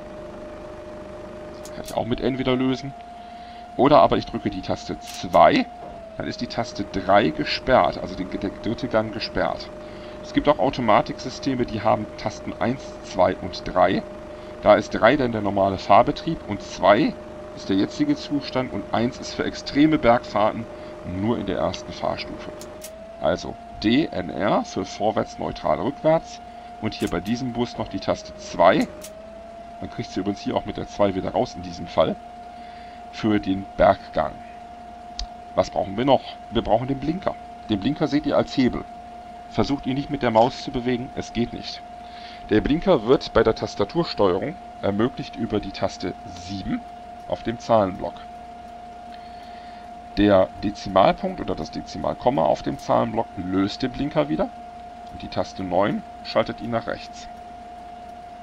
Blinkerleuchte vorne gibt es nur eine im Cockpit. Ihr seht also anhand der blinkenden Lampe nicht, ob der Blinker rechts oder links an ist. Außen am Fahrzeug sieht man es logischerweise. Machen wir das mal in der Außenansicht. Blinker rechts, Blinker links, Blinker aus. Warnblinker mit B, auch ganz deutlich, funktioniert. Streng genommen müsst ihr natürlich bei jeder Fahrt prüfen, ob die Lichter alle funktionieren. Ja, ich weiß, jetzt geht es schon ein bisschen zu weit. So, was brauchen wir noch? Wir müssen wissen, wie wir Gas geben, bremsen und lenken. Dazu blenden wir das Lenkrad jetzt wieder ein und zeige mal, wie das funktioniert. Erstmal per Tastatursteuerung. Ich finde es eigentlich ein Unding, einen Bus zu fahren, anders als mit einem echten Lenkrad, das an den PC angeschlossen ist, also ein PC-Lenkrad. Ich selbst verwende dazu ein Logitech Driving Force GT, das ist ursprünglich für die Playstation entwickelt, aber Logitech hatte auch eine hervorragende Software, um das am PC zu nutzen. Ist äh, für einen Bus schon fast ideal, weil es nämlich keine Kupplung hat. Die Busse sind ja sowieso automatisch meistens. Es gibt natürlich auch Schaltwagenbusse, die sind dann mit dem Driving Force GT unter Umständen ein bisschen eingeschränkt zu nutzen. Aber es gibt ja auch noch das G27 Lenkrad von Logitech. Ich persönlich mag es nicht besonders, aber wer eine Kupplung haben will, der nimmt natürlich das G27. Ich zeige das jetzt als allererstes, in der Annahme, dass ihr vielleicht kein Lenkrad habt, mit Tastatur. Um Gas zu geben, ich zeige das jetzt hier an dem Pedal auch, damit ihr die Wirkung seht. Per Maus geht es nicht. Also zumindest nicht, indem ihr da jetzt draufklickt. Das Gasgeben erledigt ihr mit der Zahlentastaturtaste 8, also auf dem Numpad. Sobald ich die 8 antippe, bewegt sich das Pedal nach unten. Halte ich die 8 längere Zeit fest, geht es weiter nach unten. Für eine Vollgasfahrt drücke ich also einfach längere Zeit die 8. Bei der Bremse ist das ein bisschen anders. Die Bremse die bleibt in ihrer letzten Stellung. Das heißt, ihr könnt durch leichtes Antippen der 2, vor allem durch kurzes Antippen der Taste 2, in ganz feinen Intervallen immer stärker bremsen. Ihr seht, jedes Mal, wenn ich die 2 antippe, geht das Bremspedal ganz leicht runter. Das hat den logischen Sinn, ihr sollt natürlich an der Haltestelle nicht mit Vollbremsung anhalten, sondern sanft bremsen, ansonsten meckern die Fahrgäste. Lösen könnt ihr die Bremse, indem ihr ganz kurz das Gas antippt, also die 8. Puff, jetzt ist das Bremspedal wieder gelöst. Im Falle einer Notbremsung haltet ihr die Taste 2 natürlich fest, bis das Pedal ganz unten ist denn im Zweifelsfall ist eine scharfe Bremsung einem Auffahrunfall immer noch vorzuziehen. Die 8 löst auch hier durch ganz leichtes Antippen wieder die Bremse und wenn ihr die 8 länger drückt, kommt ihr auch wieder vom Fleck. Also, Blinker links ist die 7, Blinker rechts ist die 9, Das Komma ist Blinker aus und die 8 ist fürs Gas. Die 2, schön in Etappen, fein vorsichtig gedrückt, ist die Bremse. Als allernächstes müsst ihr aber auch noch lenken können. Schockierend, ich weiß. Lenken per Tastatur hat einen ganz, ganz großen Nachteil. Die Lenkung ist zwar recht gut gemacht in OMSI für die Tastaturbetrieb, aber so ein Lenkrad, zählt mal mit, dreht sich in jede Richtung fast dreimal ganz rum. Viel mehr als bei einem Auto. Das Lenken per Tastatur geht leider immer nur mit der hier gezeigten Geschwindigkeit. Ihr könnt natürlich in kleinen Intervallen tippen, dann geht das etwas langsamer, aber dafür auch etwas ruckelig. Aber das Problem ist, wenn ihr mal wirklich schnell lenken müsst, das geht per Tastatur nicht. Ihr seid immer auf dieses voreingestellte Lenktempo angewiesen. In einer schnell gefahrenen Kurve ist das unter Umständen zu langsam, in einer ganz langsam gefahrenen Kurve ist es zu schnell. Mit diesem Nachteil müsst ihr leben, wenn ihr mit Tastatur fahrt.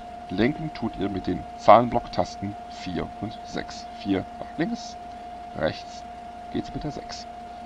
Um wieder genau geradeaus zu fahren, könnt ihr entweder das Lenkrad versuchen wieder zu positionieren.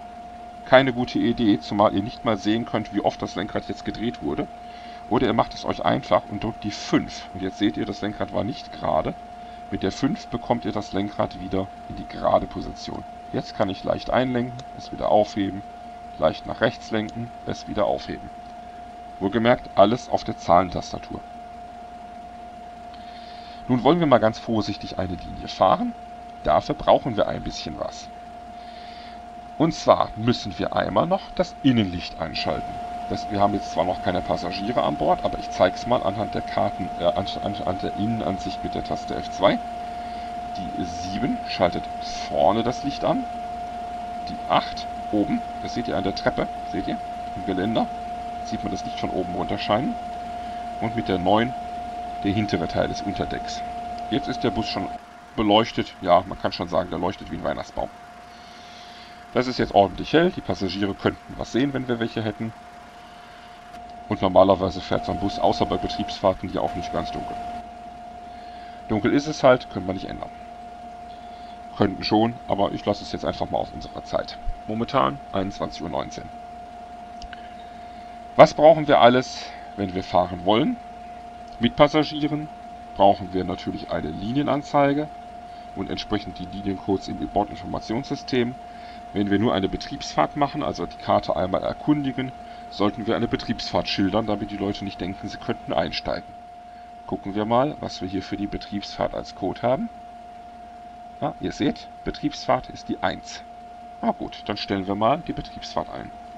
Wir haben ja hier dieses schöne Steuerbandsystem. Der steht jetzt eine 0. Dann stellen wir das jetzt mal auf, auf die 1. Solange sich das einstellt, leuchtet die Lampe. Wenn es fertig ist, geht es aus. Und wenn ihr jetzt vorne guckt, steht da Betriebsfahrt, auch hier an der Seite. Das ist aber auch das Einzige, was hier automatisch geht. Wenn ihr das per Tastatur machen wollt, Taste F8 und dann Bild auf oder Bild ab, wechselt hin und her. Ich drücke einmalig F8 wähle abwärts als Bild abwärts. Damit gehe ich wieder auf die 0 zurück. Und ihr seht, das Betriebsfeld verschwindet wieder. Jetzt steht es innen auch auf 0. Ich trete ja gerne Beweise an. Und indem ich Bild aufwärts drücke, springt das wieder auf 1 und das Band läuft wieder auf die Position 1 vor. Bei manchen Bussen geschieht das auch ganz manuell, das heißt dann drückt ihr die Tasten Bild auf und Bild ab einfach so lange, bis die, das richtige Ziel da steht. Hier geht es über das kleine Steuersystem immer nur in Einzelschritten, dafür kann man es aber eben von innen einfach über den Code anwählen und es läuft halt genau bis zu dieser Stelle. Ich muss jedes Mal, um hier weiterzukommen, einmal drücken. Die Liniennummer stellt ihr übrigens auch ein, allerdings da wird tatsächlich manuell gekurbelt, mit der F5, gefolgt von Bild auf und ab. Die vordere Ziffer beziehungsweise das vordere Schild. Da ist übrigens das Schild auch für den Schulbus. Ihr seht, ich kann hier mit Bild auf und Bild ab ganz flexibel die Nummer einstellen. Hier wieder zurück, wir haben ja noch keine. Mit F6 komme ich auf das mittlere Band. Auch wieder mit Bild auf und Bild ab einzustellen. Hänsel und Gretel für den Schulbus. Und auf F7 letztlich natürlich die hintere Ziffer. Das geschieht immer für die vordere Anzeige und die Seitenanzeige auf einmal. In einem echten Bus musste der Fahrer die unter Umständen auch getrennt kurbeln, wenn es manuell war. Wir haben jetzt korrekt Betriebsfahrt geschildert und ich werde jetzt einfach mal die Linie einmal abfahren per Tastatur.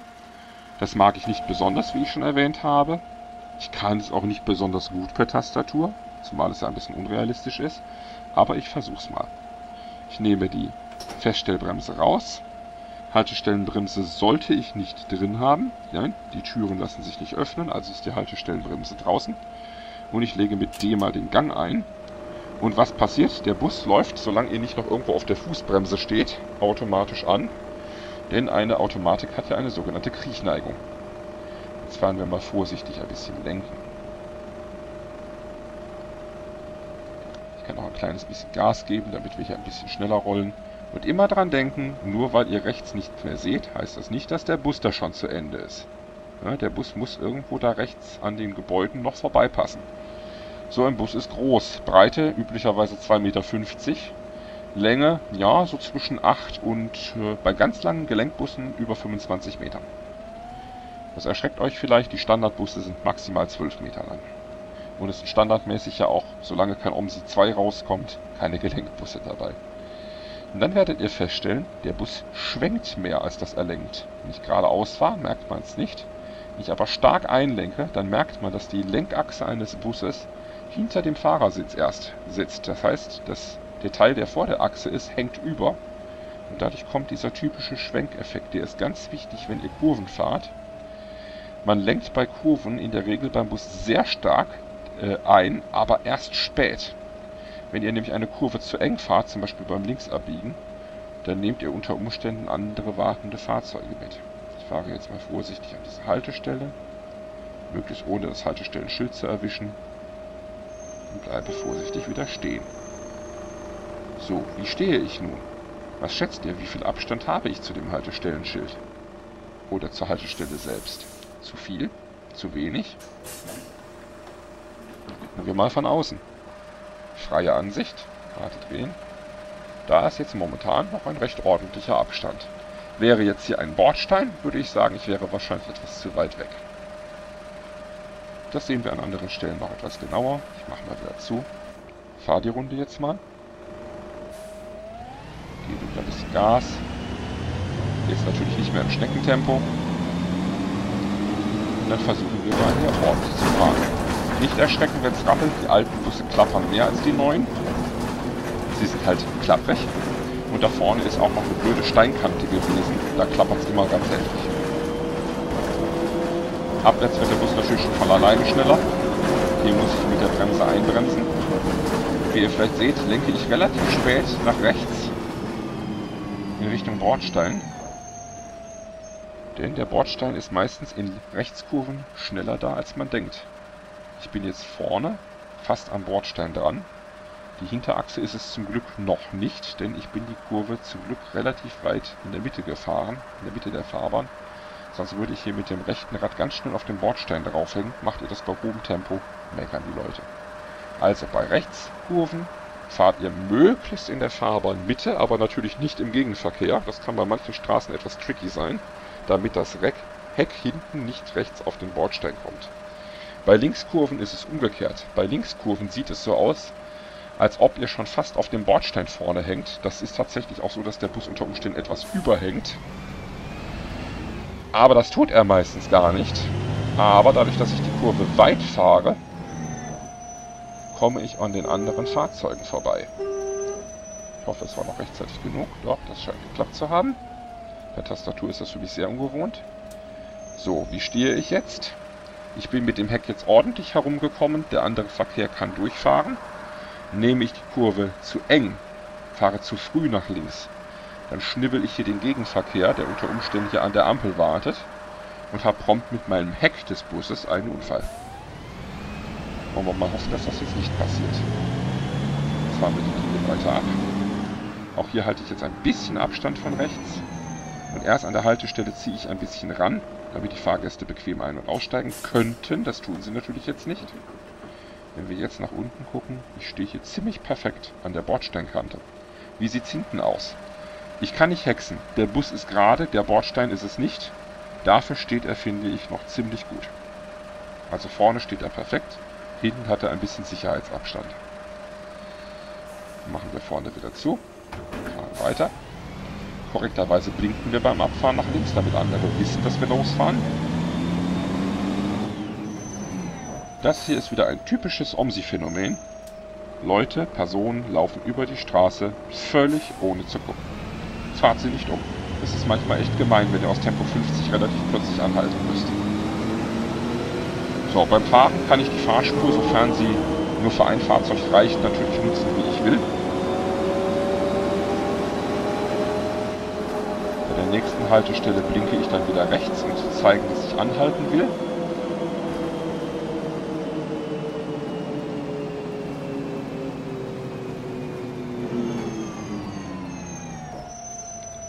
Und wir schauen mal, ob das auch geklappt hat. Ja, ich würde sagen, der steht ordentlich. Ja, und das hier gerade ist, steht er auch hinten ordentlich.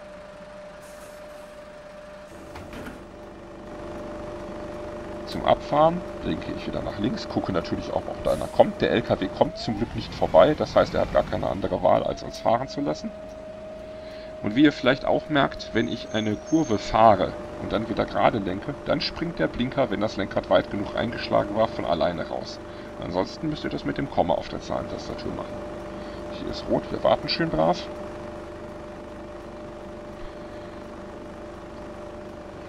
An das Umschalten der Blickwinkel hier müsst ihr euch gewöhnen.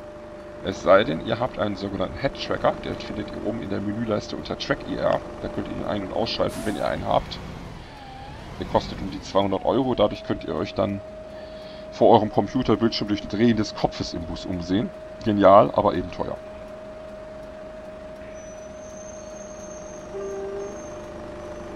Komm Taxi, fahr durch, ich will noch heute abbiegen.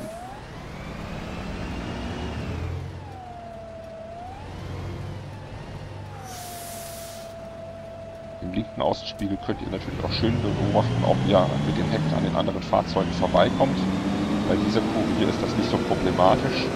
Bei anderen Kurven werdet ihr wahrscheinlich fluchen, denn da ist es fast unmöglich, A korrekt abzubiegen und, wenn es eng ist, gleichzeitig auch den Bordstein nicht mitzunehmen. Gehalten wird typischerweise am Haltestellenschild, das heißt mit der Vorderkante des Busses. Es ist aber auch in Ordnung, wenn ihr mal einen Meter weiter fahrt, ist das nicht schlimm. Wenn ihr mit dem Heck am Haltestellenschild auch vorbei seid, dann seid ihr definitiv zu weit. Ihr seht, ich stehe wieder schön am Bordstein. Das braucht ein bisschen Übung. Man kann sich das hier relativ gut merken. Man ist mit diesem Bus hier relativ gut am Bordstein dran. Wenn die Bordsteinkante hier zwischen dem Thermometer und dem Mittelpfosten des Fensters zu erkennen ist, das ist eine ganz gute Möglichkeit, sich zu orientieren. Jeder Bus hat irgendwo so einen markanten Punkt, an dem man sich orientieren kann. Den muss man nur einmal rausfinden. Weiter geht es hier Richtung Krankenhaus. Wir verlassen Buhendorf und kommen jetzt nach Einsteindorf. Das sind zugegebenerweise echt Minidörfchen. Aber zum Üben ist die Karte gut. Diese Kurve hier kann man Vollgas fahren. Man sollte es mit Passagieren aber nicht tun, sie werden sonst meckern, weil ihnen schlecht wird. Bedenkt bitte, die Fahrgäste in einem Bus sind meistens nicht angeschnallt und müssen sich entsprechend festhalten, um nicht durch die Gegend zu fliegen. Daher auch bitte keine Vollbremsung holen. So, jetzt bin ich an der Haltestelle ein bisschen zu weit gefahren, aber das geht noch und wir stehen aber wieder perfekt. Und hinten, ja, ich würde schon sagen, das ist schon fast zu perfekt. Jetzt muss ich beim Anfahren schon aufpassen, dass mir das Hinterrad hier den Bordstein nicht mitnimmt. Das gibt nämlich ein ziemlich unangenehmes Gerumpel und wenn ihr das schnell macht, ich hatte es schon erwähnt, meckern die Fahrgäste.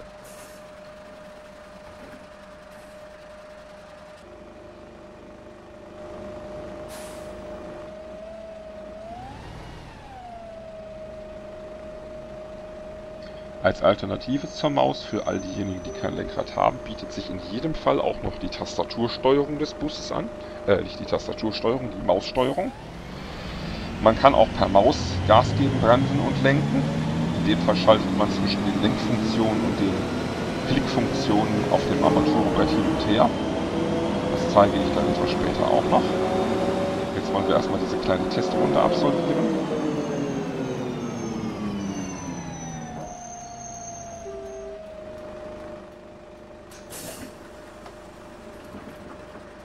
Jetzt steht er übrigens hinten nicht perfekt, denn ich musste ja hinter einem parkenden Fahrzeug noch rechts ranfahren. Ihr seht, das Heck hat es nicht ganz geschafft.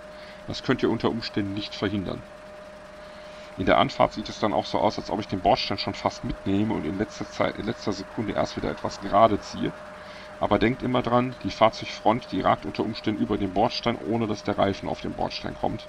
Da ist einfach ein Abstand von über einem Meter bis zur Fahrzeugfront und äh, dieser Bereich kann der Bus normalerweise, wenn der Bordstein nicht so hoch ist, drüber ragen, ohne dass was passiert. Türen wieder zu. Blinker links raus, Blinker äh, rechts raus, Blinker links rein. Und nicht vergessen nach vorne zu gucken.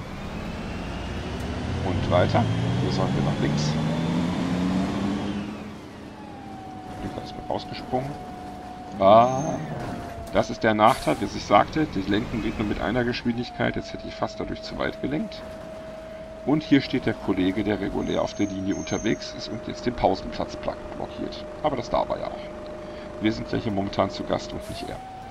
Fahren wir mal vorsichtig an ihm vorbei. Das ist übrigens der maximale Lenkwinkel. Dann sieht es so aus, als ob der Bus vorne regelrecht querschiebt. Fahren wir mal vorsichtig an dem Bus vorbei. Denkt dran, euer Bus hat eine Länge von 12 Metern. Nicht, dass ihr zu früh wieder nach rechts lenkt und den Kollegen da mitnehmt mit dem Heck. So sieht es jetzt hinten aus, aufgrund der starken Kurve. Und dass der Bus noch im Weg war da hinten, steht er immer noch recht ordentlich. Viel mehr ist da auch nicht drin. Hier erscheinen schon Fahrgäste, aber nein Leute, tut mir leid, wir sind nicht auf eurer Linie im Moment. Machen wir mal ein bisschen weiter. Und jetzt werde ich auch recht zurück, zügig zurückfahren zum Bauernhof. Wir sind ja nicht wirklich auf Linie, also brauche ich eigentlich nicht überall halten. Jetzt seht ihr, jetzt tritt dieser Überlenkeffekt ein. Es sieht aus, als bin ich auf dem Bordstein. Nein, mit den Rädern war ich das nicht wirklich.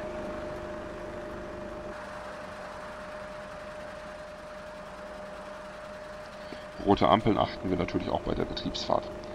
Manch einer wird sich vielleicht gewundert haben, wer das schon ausprobiert hat, dass OMSI nicht meckert, wenn man über eine rote Ampel fährt. Nein, OMSI beinhaltet keine Funktion, die den Fahrer hinsichtlich der Verkehrsregeln überwacht. Nur Unfälle sollte man vermeiden.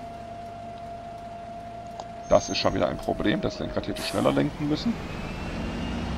Musste ich anhalten, um dagegen zu lenken. Wie gesagt, per Tastatur ist das so eine Sache. Aber wenn ihr euch nicht korrekt verhaltet, dann meckert zwar nicht die Polizei mit euch, es sei denn, ihr baut einen Unfall, aber die Fahrgäste meckern. Wenn ihr über eine rote Ampel fahrt, ist einfach das Risiko, dass ihr mit anderen Fahrzeugen kollidiert, entsprechend hoch. Und spätestens, wenn die Passagiere wegen eures schlechten Fahrverhaltens aussteigen wollen, wollen, solltet ihr euch Gedanken machen.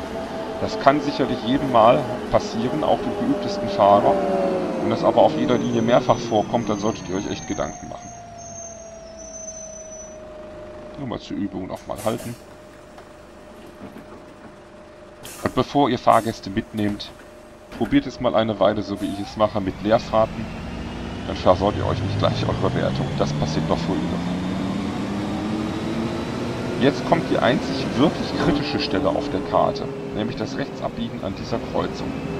Warum ist das kritisch? Einmal ist da ein Ampelmast relativ dicht am Straßenrand und dann auch noch ein Straßenschild. Das taucht da gerade hinter der Ampel auf.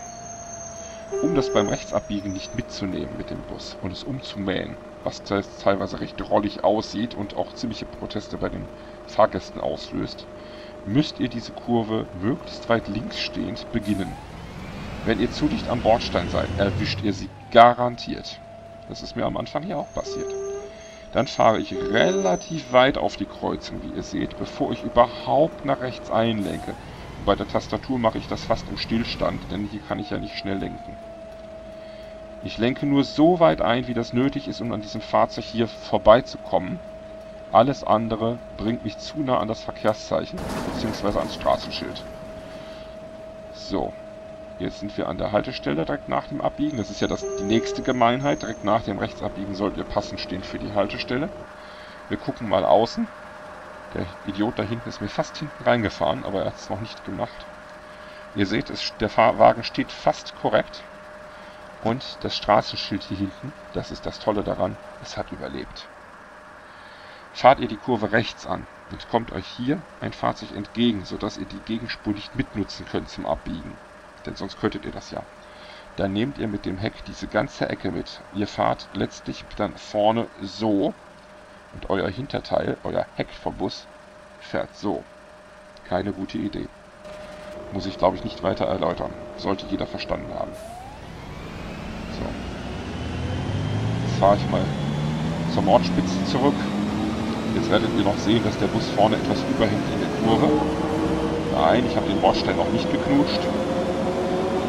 Das ist zwar keine starke Kurve, aber trotzdem kann der Bus hier mit der Fahrerkabine... Ah, da war die Kante. Ein kleines überhängen, aber natürlich nicht zu viel. In scharfen Kurven ist das völlig normal. Ich habe es jetzt hier mal riskiert. Das ist hier auf dieser super breiten Straße eigentlich nicht nötig. Direkt zur Orientierung. Das hier ist eine breite Straße. Ja? Also auf der Straße solltet ihr keine Probleme haben.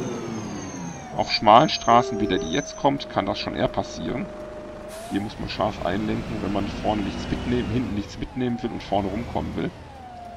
Die Straße, das ist schon deutlich schmaler. Die findet ihr typischerweise auf anspruchsvollen Karten oder wo wenig Gegenverkehr ist. Wenn hier auch zwei Busse sich entgegenkommen, dann ist es besonders per Tastatur schon heikel. Per Maus oder Lenkrad kriegt man es noch einigermaßen hin, aneinander vorbeizukommen, weil man präziser lenken kann. Hier dürft ihr euch nicht wundern, es geht kräftig bergauf. Die Busse haben nicht allzu viel Leistung, besonders nicht die alten. Hier braucht ihr Dauergas, um einigermaßen hochzukommen. Das geht aber noch ohne den speziellen Berggang. Er wird halt nur langsam. Das hier, das geht. Ja, jetzt war wieder die heftige Kante. Da geht es wieder ein Stückchen runter. Da klappert es ordentlich. Und auch hier nehmen wir bitte nicht das Schild ab, wenn wir Schild weg, wenn wir hier anhalten. Wir sind zu freundlich und lassen alle Schilder intakt. Jetzt werde ich mal eine Fahrt mit Passagieren demonstrieren. Das heißt, wir müssen die Linie schildern, wir brauchen einen Fahrplan und wir müssen dem IBIS-Gerät sagen, auf welcher Linie wir sind, damit der Fahrscheinentwerter die Fahrscheine korrekt stempelt. Bei modernen Bussen ist damit noch viel mehr verbunden, denn bei modernen Bussen wird dadurch die Zieleinheit vorne automatisch eingestellt durch das Steuergerät und es wird dann normalerweise auch die Haltestelle angesagt. Das haben wir ja wie gesagt hier nicht. Als allererstes gucken wir mal, welchen Linienplan wir hier haben. Wir drücken die Taste Alt und wählen einen Fahrplan aus. Das geht hier oben. Ich hoffe, wir bekommen noch einen, denn es ist ja mittlerweile dann doch schon etwas später. 21.29 Uhr sagt er uns jetzt als aktuelle Zeit in der Simulation, da sollten wir noch eine Fahrt kriegen. Wir wählen als erstes die Linie aus. Hier gibt es nur die 76 und den Umlauf 1. Es gibt nämlich hier auch nur einen KI-Bus, der standardmäßig fährt, den wir hier ersetzen könnten. Die Linie 76 hat die Endhaltestelle Bauernhof, startet im Krankenhaus und endet am Bauernhof. Ja, schön, das ist nicht die Richtung, die wir fahren wollten. Wir wollten ja eigentlich hier vom Bauernhof starten. Das können wir entweder erreichen, indem wir einen anderen Umlauf wählen, den gibt's hier nicht, oder indem wir uns hier für einen anderen Zeitplan äh, entscheiden, denn hier startet es im Krankenhaus um 21.37 Uhr und um 21.44 Uhr ist der Bus hier. Das heißt, wenn ich jetzt einen Plan weitergehe, dann springt das um. 76 mit Ziel Krankenhaus von Bauernhof um 22.07 Uhr, das ist also noch ein ganzes Stück entfernt. Mit dem Ziel Krankenhaus um 22.14 Uhr, das ist der nächste Umlauf, der von hier startet. Also ihr könnt den Umlauf wählen, kommt dann normalerweise hier auf die Fahrt, die euch zeitlich am nächsten ist. Wenn es die falsche ist, schiebt ihr diesen Schieber eine Position weiter nach rechts, dann habt ihr in der Regel die Gegenrichtung. Bauernhof nach Krankenhaus ist richtig, wir starten am Bauernhof. Wir könnten jetzt als Verstärker fahren, das würde bedeuten, der KI-Bus bleibt auf der Strecke und wir folgen ihm. Oder aber ich lasse das hier aus, dann wird der KI-Bus zwar noch hierhin zurückkehren bis 22 Uhr oder so, und dann wird er aber wieder wegfahren, weil er ins Depot fährt, sofern es ein echtes Depot gibt, ansonsten verschwindet er irgendwo. Und dann übernehmen wir seine Aufgabe, das tun wir jetzt. So, Sie lösen Wagen Nummer 1823 ab, dieser Wagen wird ausgesetzt. Der fährt also die Tour, bis er unsere erreicht und dann verschwindet er. Jetzt haben wir dessen Fahrplan übernommen. Jetzt müssen wir entsprechend aber auch hingehen und uns anzeigen lassen, wann wir den los müssen. Bei manchen modernen Bussen habt ihr eine Verspätungsanzeige, bei dem alten nicht. Jetzt kommt eine Tastenkombination, die ihr euch merken solltet, und zwar Shift Z, also als wenn ihr ein großes Z eingeben wollt. Denn dann bekommt ihr oben eine Statusinformationsleiste. Hier sehen wir einerseits, wie warm es im Bus ist. Das ist übrigens momentan angenehm, da brauche ich gar keine Heizung anmachen. 22 Grad ist perfekt. Es ist auch relativ trocken im Bus. Wir haben hier die aktuelle Uhrzeit mitlaufen. das Datum, Wochentag, die aktuelle Geschwindigkeit, wo wir halten sollen. Unsere Linie beginnt am Bauernhof um 22.07 Uhr, natürlich dann drüben links bei der Abfahrtshaltestelle. Und das sind noch 35 Minuten. Die Zeit werden wir jetzt nutzen, um den Bus fahrbereit zu machen für Passagiere, die Linie zu schildern und entsprechend am Steuergerät einzugeben. Ansonsten können wir die Zeit natürlich vor- und zurückstellen, mit Fahrplan allerdings nur vor, damit man bei Verspätungen nicht schummeln kann. Als allererstes sagen wir jetzt dem Steuergerät, was wir fahren wollen. Wir hatten uns ja die Linie 2 und, nein, 76 ausgesucht. Gucken uns jetzt mal das Steuergerät an. Wir geben an Linie. Linie oder Kurs, das ist ein bisschen unterschiedlich, ob es nach Linien oder nach Kursnummern gibt.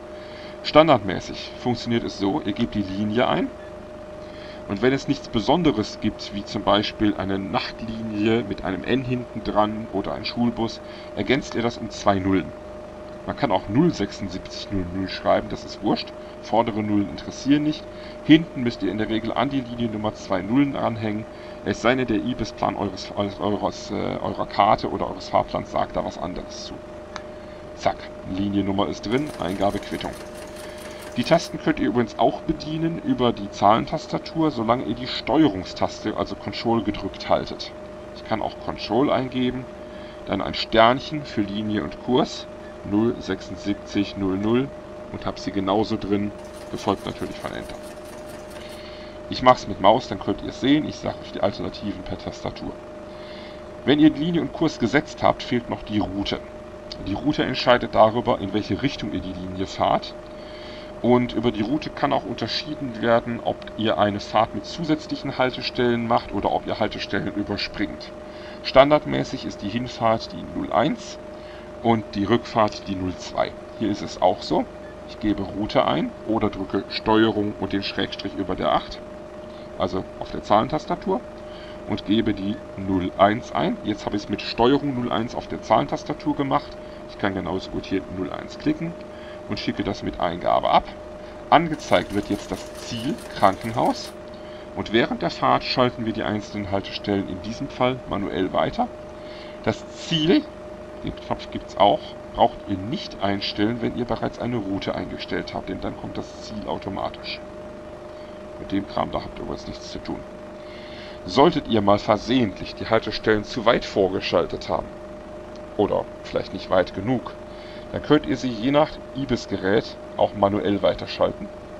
Mit Vor- und Rückstumm. Das heißt, bei Fahrzeugen mit Ansage wird die Ansage unterdrückt, es springt nur vor und zurück.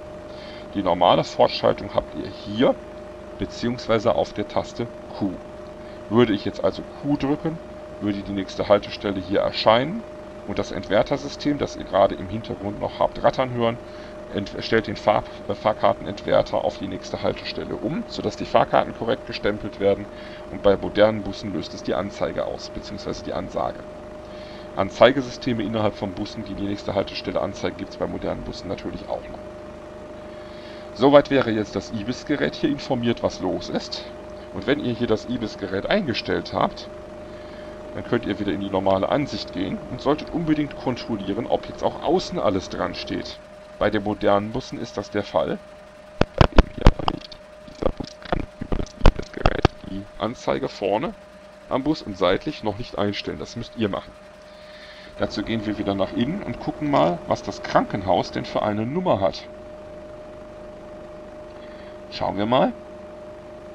Einsteindorf Krankenhaus ist hier die Nummer 6. Das heißt, ich stelle hier an dem Zielwahlgerät die 6 ein. Dazu muss ich hier fünfmal auf, denn die 1 haben wir gerade. Einmal, warten.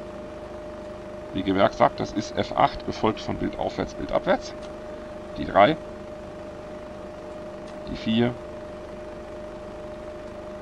Die 5. Die 6. Keine Sorge, ich habe noch keine Karten gesehen, wo man bis zur 900 noch was muss. Im Zweifelsfall ginge es vielleicht auch andersrum. So, jetzt gucken wir mal außen und ihr seht, da steht Einsteindorf Krankenhaus. Genau richtig. Jetzt brauchen wir noch die Liniennummer, das ist die 76. Wie ihr die einstellt, ist euch überlassen. Ihr könnt das über die vorderen beiden Rollbänder oder die hinteren beiden Rollbänder des Zahlensystems machen. Normalerweise, ihr kennt das vom Taschenrechner, der fängt von rechts an die Zahlen aufzubauen. Also mache ich das jetzt, indem ich die F5 in Ruhe lasse, mit der F6 und den Pfeiltasten das Rollband auf die 7 stelle.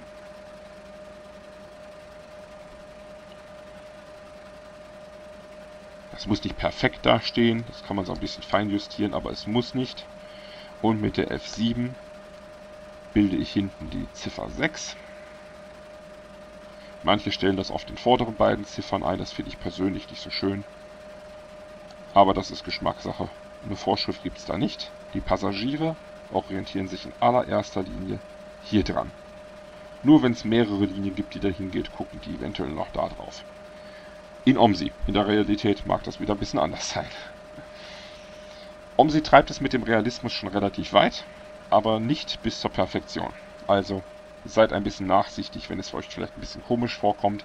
Das Allerwichtigste in OMSI, das funktioniert und das ist das Fahrverhalten der Busse. Das scheint mir tatsächlich sehr realistisch. So, nun haben wir den Bus betriebsbereit zur Aufnahme von Fahrgästen und wir haben noch 29 Minuten über. Was mache ich jetzt? Ich warte natürlich jetzt nicht die 29 Minuten ab, sondern ich stelle jetzt die Uhr vor.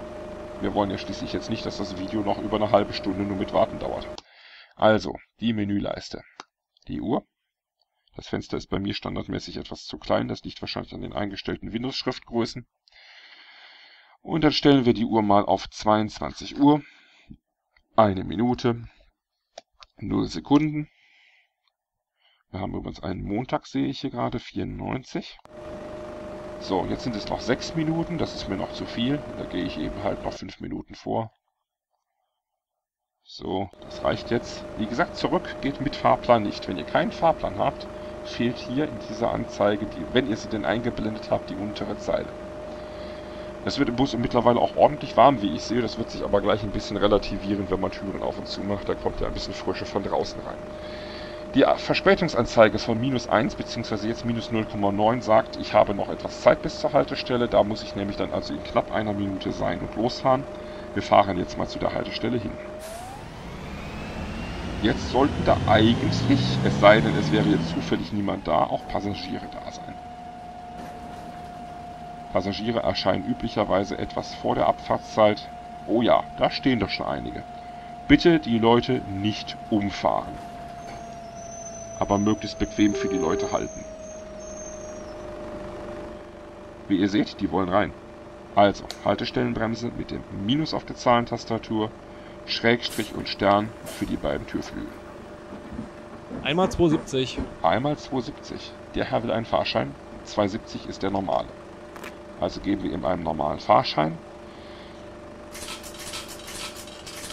Und geben ihm das passende Wechselgeld. Wundert euch nicht, wenn die meckern. Das muss nicht der falsche Fahrschein sein. Guten Abend. Guten Abend. Das kann auch sein, dass ihr einfach etwas zu langsam wart.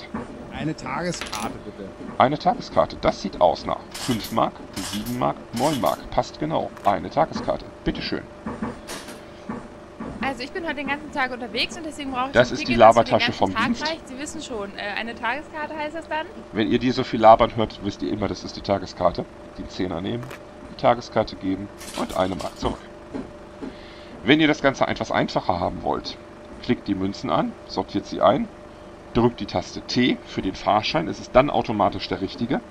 Und drückt Steuerung T, wenn ihr Rückgeld geben müsst. Dann braucht ihr nicht selber zählen. Was ich jetzt gemacht habe, war schon das komplexe Kassieren mit korrektem Abzählen, mit Herausgeben des richtigen Fahrscheins. Also mit anderen Worten vollständig wie in der Realität. Türen zu, die Abfahrtzeit ist sogar schon überschritten. Haltestellenbremse raus und los geht's. Wollen wir die Fahrscheine mal als Fahr äh, Gäste mal ans Ziel bringen. Nachdem wir jetzt die Abfahrtshaltestelle verlassen haben, drücke ich einmal die Taste Q. Und jetzt seht ihr, dass im Informationssystem IBIS die Anzeige umgesprungen ist. Jetzt steht dort nämlich Nordspitze Bahnhof. Das wäre jetzt in normalerweise die Ansage der nächsten Haltestelle. Bei diesem alten Busmodell stellt es nur den Entwerter um.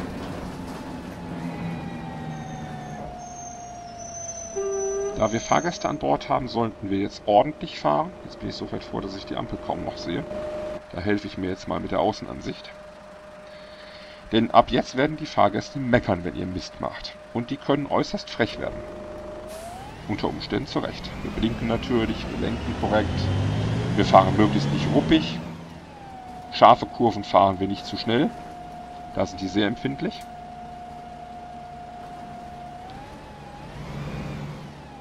Was die überhaupt nicht mögen, ist, wenn ihr vier, fünf Mal hintereinander Gas gebt und es wieder loslasst.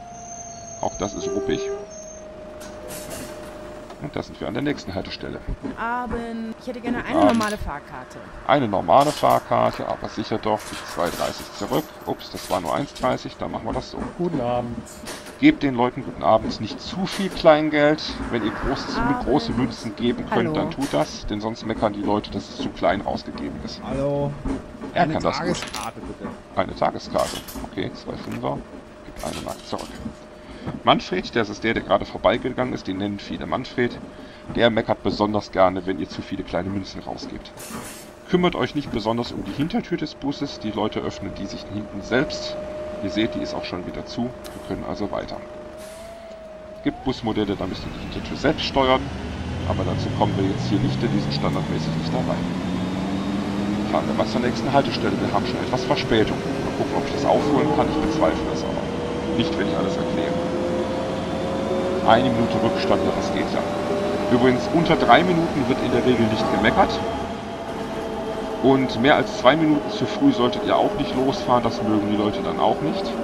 Ich drücke Q für nächste Haltestelle. Jetzt steht da auch Elsterplatz. Ich versuche hier passend anzuhalten. Ich fast in den Vordermann noch rein. Ich bin das per Tastatur echt nicht gewöhnt. Und jetzt können die Leute ein- und aussteigen. Na. Hallo.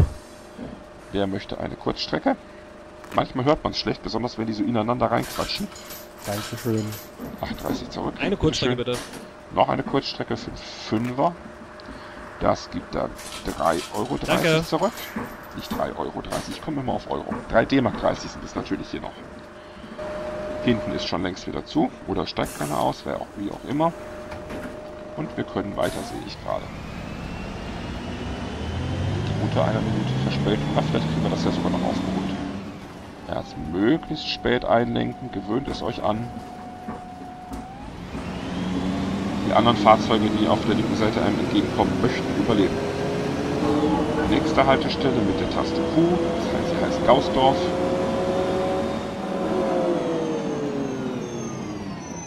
Nicht zu heftig bremsen, meist reicht zwei, dreimal drücken. Und Ein- und Aussteigen ermöglichen. Ich guck mal hinten, jetzt seht ihr auch hinten steigen welche aus. Ich bin den ganzen Tag unterwegs und deswegen brauche ich ein Ticket, das für den ganzen Tag reicht. Sie wissen schon, äh, eine Tageskarte heißt Jetzt hat sie uns das mit der Tageskarte vorne schon schon erklärt und ihr habt in der Zwischenzeit mal gesehen, dass hinten die Tür wieder zugeht. Hallo, ich möchte Oh. gerne Fahrkarte haben. Ja, du kriegst deine Fahrkarte. Du hast es mir auch ganz klein dahin gelegt. Bitteschön. Hallo.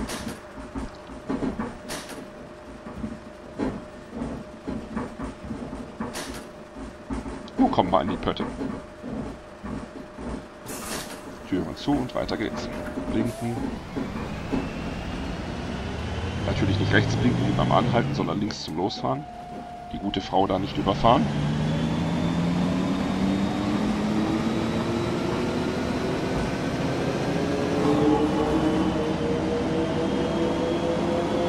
Jetzt seht ihr eine gelbe Lampe aufleuchten. Das ist der Haltewunsch. Das heißt, an der nächsten Haltestelle möchte auch schon wieder jemand raus. Ich drücke die Taste Q zum Fortschalten der Haltestelle. Das ist Einsteindorf Ausbau, wie im Display zu lesen ist. Je nach Videoauflösung, wie ihr euch anguckt, seht ihr das unter Umständen etwas zu verschwommen, um es lesen zu können. In der Realität geht es gerade noch. Und wir halten an Einsteindorf Ausbau. Will keiner rein, aber es wollen welche raus. Na gut, dann können wir ja vorne schon wieder zumachen. Haltestellenbremse raus. Die löst sich dann, sobald die Tür zu ist. Die meisten Busse haben auch eine kleine Lampe, die aufleuchtet. In dem Fall ist die hier versteckt. Die signalisiert euch, dass die hintere Tür noch offen ist. Es wäre ja auch etwas blöd, wenn man losfährt oder versucht loszufahren, während die noch offen ist. Da brechen sich die Fahrgäste alle Knochen. Nächste Haltestelle mit Taste Q. Einsteindorf Marktplatz. Aussteigewunsch liegt bereits wieder vor. Bitte nicht die parkenden Autos mitnehmen. Guckt euch so ein bisschen an, wie ich den Abstand halte. Fahrt notfalls langsam. Wow. Seht ihr? Ja unglaublich. Genau, das ist das Problem. Ich bin die. Tastatur nicht gewöhnt. Jetzt gucken wir mal, ob wir noch ein Stück zurück können. Unter uns steht noch keiner. Dann lege ich mal ganz vorsichtig den Rückwärtsgang ein. Erst auf R, äh, N, dann auf R.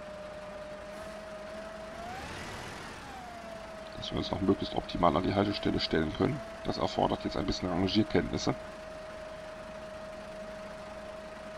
Passagiere haben zu Recht gemeckert. Ich bin etwas unsanft an die Haltestelle gefahren. Dafür ist es jetzt umso besser. Und dann lassen wir aussteigen. Ihr seht, das geht auch von außen. Um sie interessiert es nicht, wann ihr die Tasten drückt, also in welcher Kameraperspektive, sondern nur, ob ihr sie drückt. Dass jetzt alle aussteigen, liegt jetzt übrigens in diesem Fall noch nicht mal am Fahrstil. Das liegt einfach nur daran, dass längst nicht alle bis zum Krankenhaus fahren. Oben sieht man auch noch jemanden sitzen. Ganz so schlimm war es dann also nicht. Und wir müssen sie jetzt auch noch durchlassen. Jetzt wollen sie nämlich auch noch alle hier rüber. Warum lauft ihr jetzt eigentlich alle zum Krankenhaus rüber, statt mit mir mitzufahren? Nein, ich war es wirklich nicht. Das sind jetzt einfach freiwillig ausgestiegen. Und nicht wegen dem Fahrstil. Solange die die Straße überqueren, werden übrigens die anderen Autos hier nicht in die Kreuzung einfahren. Das ist ziemlich praktisch, wenn ihr selber gerade durch wollt. So, und jetzt hört ihr auch gerade im Bus die restlichen Leute runtergehen. Einsteindorf Krankenhaus steht jetzt im Display und die restlichen Leute wollen raus. Und wie ihr seht, ist die aktuelle Fahrt beendet. Wir sind am Krankenhaus angekommen und OMSI zeigt uns automatisch eine Auswertung an. Wenn ihr der Meinung seid, ihr seid an der Endhaltestelle und bekommt keine Auswertung, dann seid ihr mit Sicherheit nicht an der Endhaltestelle, jedenfalls nicht an der, wozu ihr hin solltet. Den Plan kann ich mir als Textdatei speichern lassen oder ihn einfach wegklicken. Offensichtlich war ich nicht zu sehr zu spät und auch nirgendwo zu sehr zu früh. Dann steigen noch die restlichen Leute aus. Und wegen der Automatiktür geht es hinten automatisch wieder zu.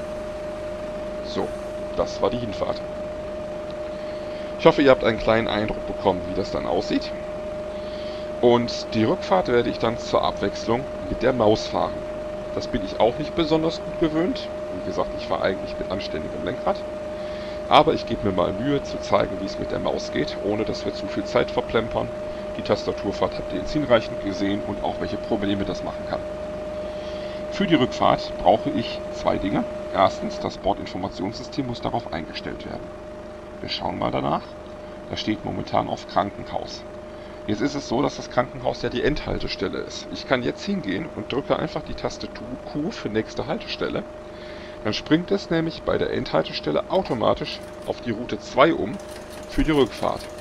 Schon steht das Ziel Bauernhof drin und der Entwerter, das habt ihr sicherlich im Hintergrund rattern hören, ist auch entsprechend umgesprungen, sodass der Fahrschein auch korrekt für die Rückfahrt entwertet wird. Was wegen des Alters des Busses wieder nicht automatisch geht, ist die Außenanzeige. Da müssen wir jetzt wieder nach dem Zielcode gucken. Nordspitze Bauernhof ist die 9. Na, nein, 9 ist Nordspitze Bahnhof. Bauernhof ist die 8. Ich erzähle Unsinn. Nummer 8 ist Nordspitze Bauernhof. Das stellen wir ein. Klack. Ja, zweimal hintereinander geht nicht, man muss warten. Klack. So, jetzt ist der Bus korrekt umgestellt für die Rückfahrt, die laut Fahrplan aber erst in 20 Minuten beginnt. Also wäre ich hier Busfahrer, wäre es ziemlich langweilig und ich hätte auch noch verdammt viele Wartezeiten. Aber ihr seht, die Nordspitze steht bereits korrekt drin. So kann ich wieder zurückfahren. Gut, bis die Zeit erreicht ist, sage ich noch ein paar Worte zur Maussteuerung. Die Maussteuerung ist standardmäßig aus. Es wäre eine Katastrophe, wenn nicht. Denn ihr wollt ja unter Umständen dann doch ein paar Bedienelemente im Bus mal mit der Maus anklicken. So viel Tastenkombination kann sich ja kein Mensch merken. Die wichtigsten habe ich schon erwähnt. Ich hoffe, ihr wisst sie noch. Na, seid ehrlich? Nein, natürlich nicht. Macht auch nichts. Ich kann euch derweil noch zeigen, dass man mit der Maus noch was anderes hier sehen kann. Und zwar den aktuellen Fahrplan. Wenn ihr mal eine Übersicht haben wollt, der hängt immer irgendwo im Bus. Manchmal ist er auch versteckt, da muss man sich den hervorklicken. Und dafür gibt es übrigens auch noch einen Hotkey. Und zwar die Taste Einfügen. Ändert sich die Kamera automatisch so, dass er Richtung Fahrplan kommt. Ihr könnt ihn trotzdem noch ein bisschen größer machen. Ist noch ganz nützlich. Und wenn ich schon gerade dabei bin, noch nützliche Tasten zu erwähnen, die Position 1 Taste, bei manchen Tastaturen auch Home beschriftet, geht zum Zahltisch. Wenn ihr das mal bei einem Bus anders nicht hinkriegt, weil zum Beispiel das Blicken zur Tür den Winkel nicht optimal einstellt, dann geht es in der Regel, indem ihr Position 1 festhaltet. Sowohl einfügen als auch Position 1 wirken nur, solange ihr sie festhaltet. Ihr kehrt automatisch wieder zurück. Aber jetzt zur Maus. Die Maussteuerung funktioniert im Gegensatz zu der Tastatursteuerung natürlich gehörig unterschiedlich. Bei der Tastatursteuerung war es ja so, wenn ich die Bremse mehrmals antippe, dann bleibt sie bei diesem Level gedrückt und löst sich erst, wenn ich wieder kurz Gas gebe. Und ich muss das Gas so lange festhalten, wie ich Gas geben möchte. Diese Regel könnt ihr für die Maussteuerung komplett über Bord werfen, denn bei der Maussteuerung hängt alles davon ab, wo sich der Mauszeiger auf dem Bildschirm befindet. Ich habe die Maussteuerung jetzt noch nicht aktiv, von daher kann ich das jetzt noch gut ohne Schaden demonstrieren. Maus in der Mitte des Bildschirms heißt, ihr lenkt gerade und ihr gebt weder Gas noch Bremse. Ich will nicht hoffen, dass der Mauszeiger in der Aufzeichnung auch ab und zu verschwindet, wie er es hier tut. Das sollte er eigentlich erst nach ein paar Sekunden. Also ungefähr hier die Maus heißt neutral. Ich gebe weder Gas noch bremse ich, noch lenke ich links oder rechts. Wenn ich Gas geben will, schiebe ich die Maus nach oben. Je mehr ich sie nach oben schiebe, im Zweifelsfall bis zur Bildschirmkante, je mehr gebe ich Gas. Vollgas ist also ganz oben. Entsprechend halbes Gas ungefähr hier. Bisschen Gas nur zum Rollen ist hier. Und hier ungefähr ist neutral. Bremsen tue ich, indem ich die Maus nach unten ziehe. Das ist leichtes Bremsen. Das ist stärkeres Bremsen. Und wenn ihr bis unter die Kante, Kante des Lenkrads geht und das nicht gerade sanft macht, dann werden die Leute besch sich beschweren, denn hier bremst ihr schon ziemlich scharf. Und wenn ihr die Maus bis ganz unten zieht, na, dann habt ihr eine Notbremsung. Also die solltet ihr vermeiden. Wenn ich das Bremsen symbolisieren sollte, wie man das macht, man bremst nie so. Das ist eine ruckartige Bewegung, das ist wie ein plötzliches Treten auf Bremspedal, die Leute werden meckern. Bremsen tut man wie folgt. Man zieht langsam runter und verstärkt den Bremsdruck so lange, bis er zum Abbremsen bis zu dem entsprechenden Ziel reicht. Merkt ihr, dass ihr zu früh zum Stehen kommt, löst ihr sie langsam wieder, indem ihr die Maus wieder nach oben schiebt. Bleibt an der Haltestelle aber immer stehen, indem die Bremse ziemlich weit angezogen ist, damit ihr Wegrollen vermeidet. Denn ihr müsst ja, um die anderen Elemente zu steuern, unter Umständen aus der Maussteuerung heraus. Und dann ist es immer gut, wenn die Bremse noch ein bisschen gedrückt ist. Alte Erfahrung. Also, normales Bremsen. Ich bremse, indem ich den Bremsdruck erhöhe. Wenn ich merke, ich komme zu früh zum Stehen, dann lasse ich die Bremse wieder etwas locker. Kurz bevor der Bus ganz steht, ist es sowieso nicht verkehrt, sie ein kleines bisschen wieder zu lösen, damit der Stillstand nicht allzu abrupt ist. Wenn ich dann einmal stehe, ziehe ich die Maus noch ein Stück runter, damit die Bremse wirklich fest sitzt und der mir zum Beispiel auch am Berg nicht anfängt zu rollen. Wie gesagt, die Fahrgäste brechen sich ungern die Haxen. Ich weiß nicht, ob sie es können. Ich glaube nicht, aber im Zweifelsfall werden sie vielleicht meckern. Den Mausmodus aktiviert ihr übrigens mit der Taste O. Es geht auch übers Menü, das wird aber während der Fahrt extrem unpraktisch. Ich zeige es kurz. Das ist hier. Das ist die Taste für die Maussteuerung. Der Nachteil, wenn ihr das über, die, über das Menü einschaltet, der Mauspfeil ist ganz oben. Wenn ihr das da einschaltet, wird der Bus also sofort losfahren. Keine gute Idee. Macht das mit der Taste O. Wann immer ihr die Maussteuerung aktiviert mit O, tut das, wenn der Mauszeiger mittig ist und im unteren Bildschirmbereich. Denn nur dann habt ihr die Garantie, dass der Bus nicht gleich anrollt oder scharf einlenkt. Lenken tut ihr, das ist ganz intuitiv, indem ihr den Pfeil nach links oder nach rechts bewegt. Natürlich gleichzeitig mit Gas und Bremse, das heißt, eine Kurve fahren mit links, das geht. Wenn ihr aber gleichzeitig Gas geben müsst, müsst ihr natürlich auch nach oben. Das hier oben wäre also Vollgas mit einer scharfen Linkskurve. Das wäre Vollgas mit einer scharfen Rechtskurve. Das wäre eine Vollbremsung mit Lenken nach rechts. Also wenn da die Passagiere nicht meckern, würde es mich wundern. Und das wäre eine Vollbremsung mit Kurve nach links. Jetzt hat OMSI allerdings die Eigenschaft, sich anzugewöhnen, euch möglichst nicht umkippen oder aus der Kurve ausbrechen zu lassen. Das kann irritierend sein.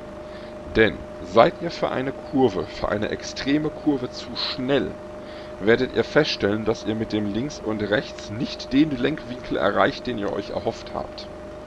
Dann fahrt langsamer. Denn sobald ihr langsamer werdet, lenkt der Bus bei dieser Mausposition wesentlich stärker nach links ein, als es bei hoher Geschwindigkeit würde.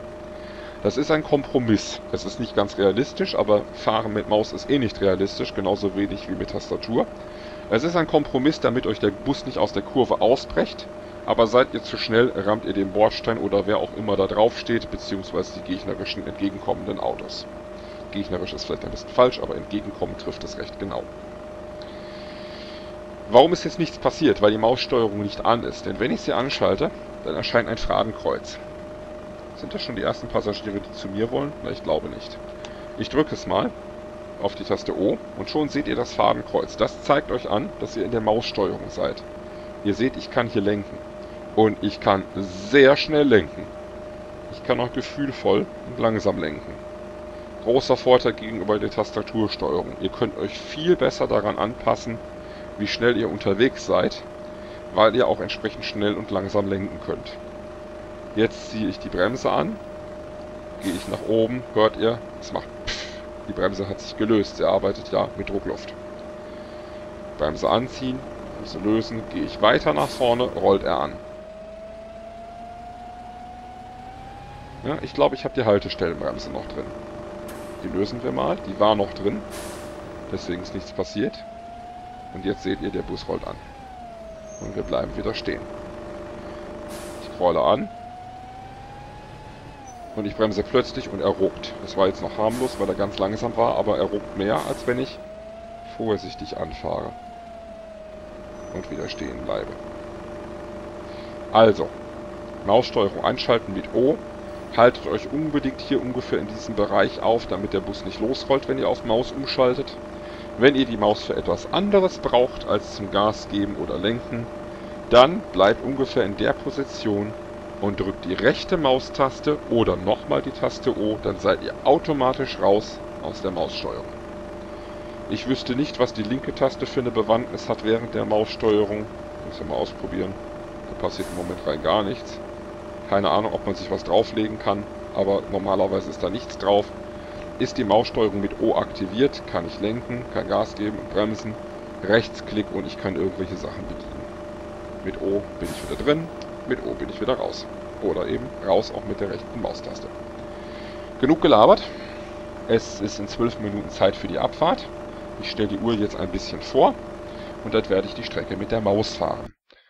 Ich werde auch versuchen, nicht umzuschalten zwischen Maus und Tastatur, wenn es geht, sondern Türen und dergleichen natürlich dann per Tastatur bedienen, damit es etwas flüssiger vonstatten geht. Ich stelle mal 10 Minuten vor, ich denke, das war richtig. Ja, da hinten sitzen auch schon Leute jetzt an der Haltestelle.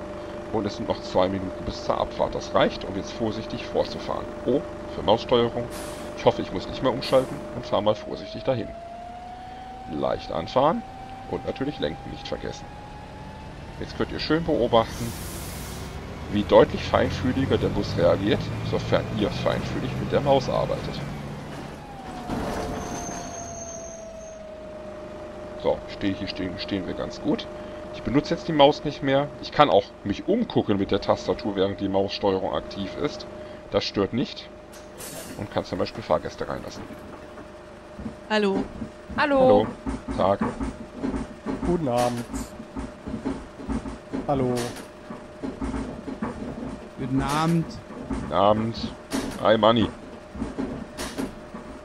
Guten Abend. Keiner will eine Fahrkarte? Oh, da habe ich aber Glück. Denn wenn ich eine Fahrkarte rausgeben will, brauche ich die Maus. Oder aber ich mache den einfachen Modus mit T und Steuerung T. Aber hier wollte ja keiner eine. Auch gut. Es ist noch eine Minute bis zur Abfahrt. Zu früh losfahren ist unhöflich. Aber bei einer Minute kann man sagen, ja, ist okay. Wir machen das mal, wir brauchen die Zeit vielleicht noch irgendwo. Normalerweise vermeide ich das. Fahren wir mal vorsichtig los. Drücken schon mal Q für die nächste Haltestelle. Einsteigen auf Ausbau.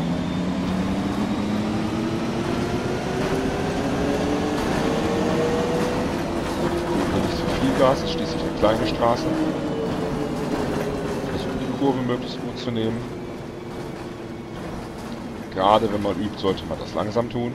Wie gesagt, mit der Maus bin ich auch kein Profi.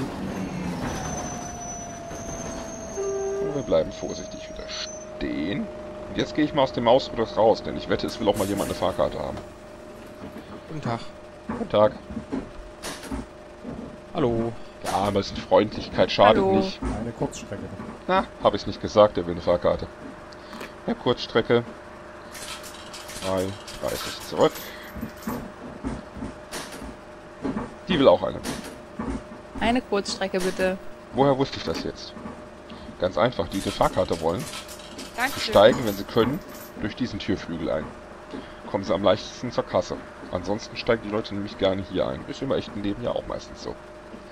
Da steht dann draußen an alten Bussen gerne dran Sichtkarten oder eben Kasse. So kenne ich es zumindest von den alten Bussen, die hier früher rumgefahren sind. So ähnliche Modelle wie den hatten wir hier in Duisburg, wo ich wohne, auch. Allerdings hatten wir hier keine Doppeldecker. So, ja, von der Zeit her ist es schon Zeit, wieder loszufahren. Die Minute, die wir Vorsprung hatten, ist fast um. Ja, es wird gerade rot, passend. Na gut. Ich fahre schon mal vorsichtig mit Maussteuerung vor. Setze schon mal den Blinker. Jetzt muss ich natürlich warten, das kann ich nicht ändern.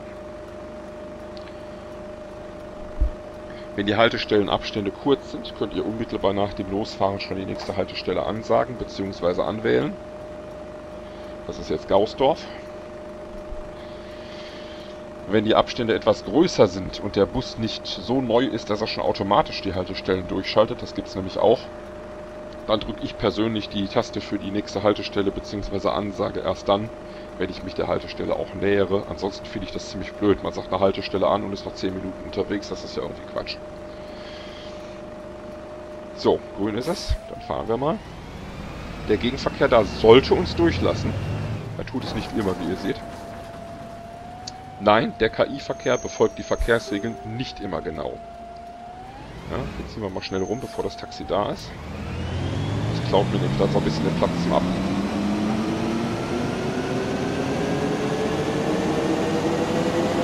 schön gleichmäßig mal noch eine Kurve fahren kann, wenn man mit der Maus steuert.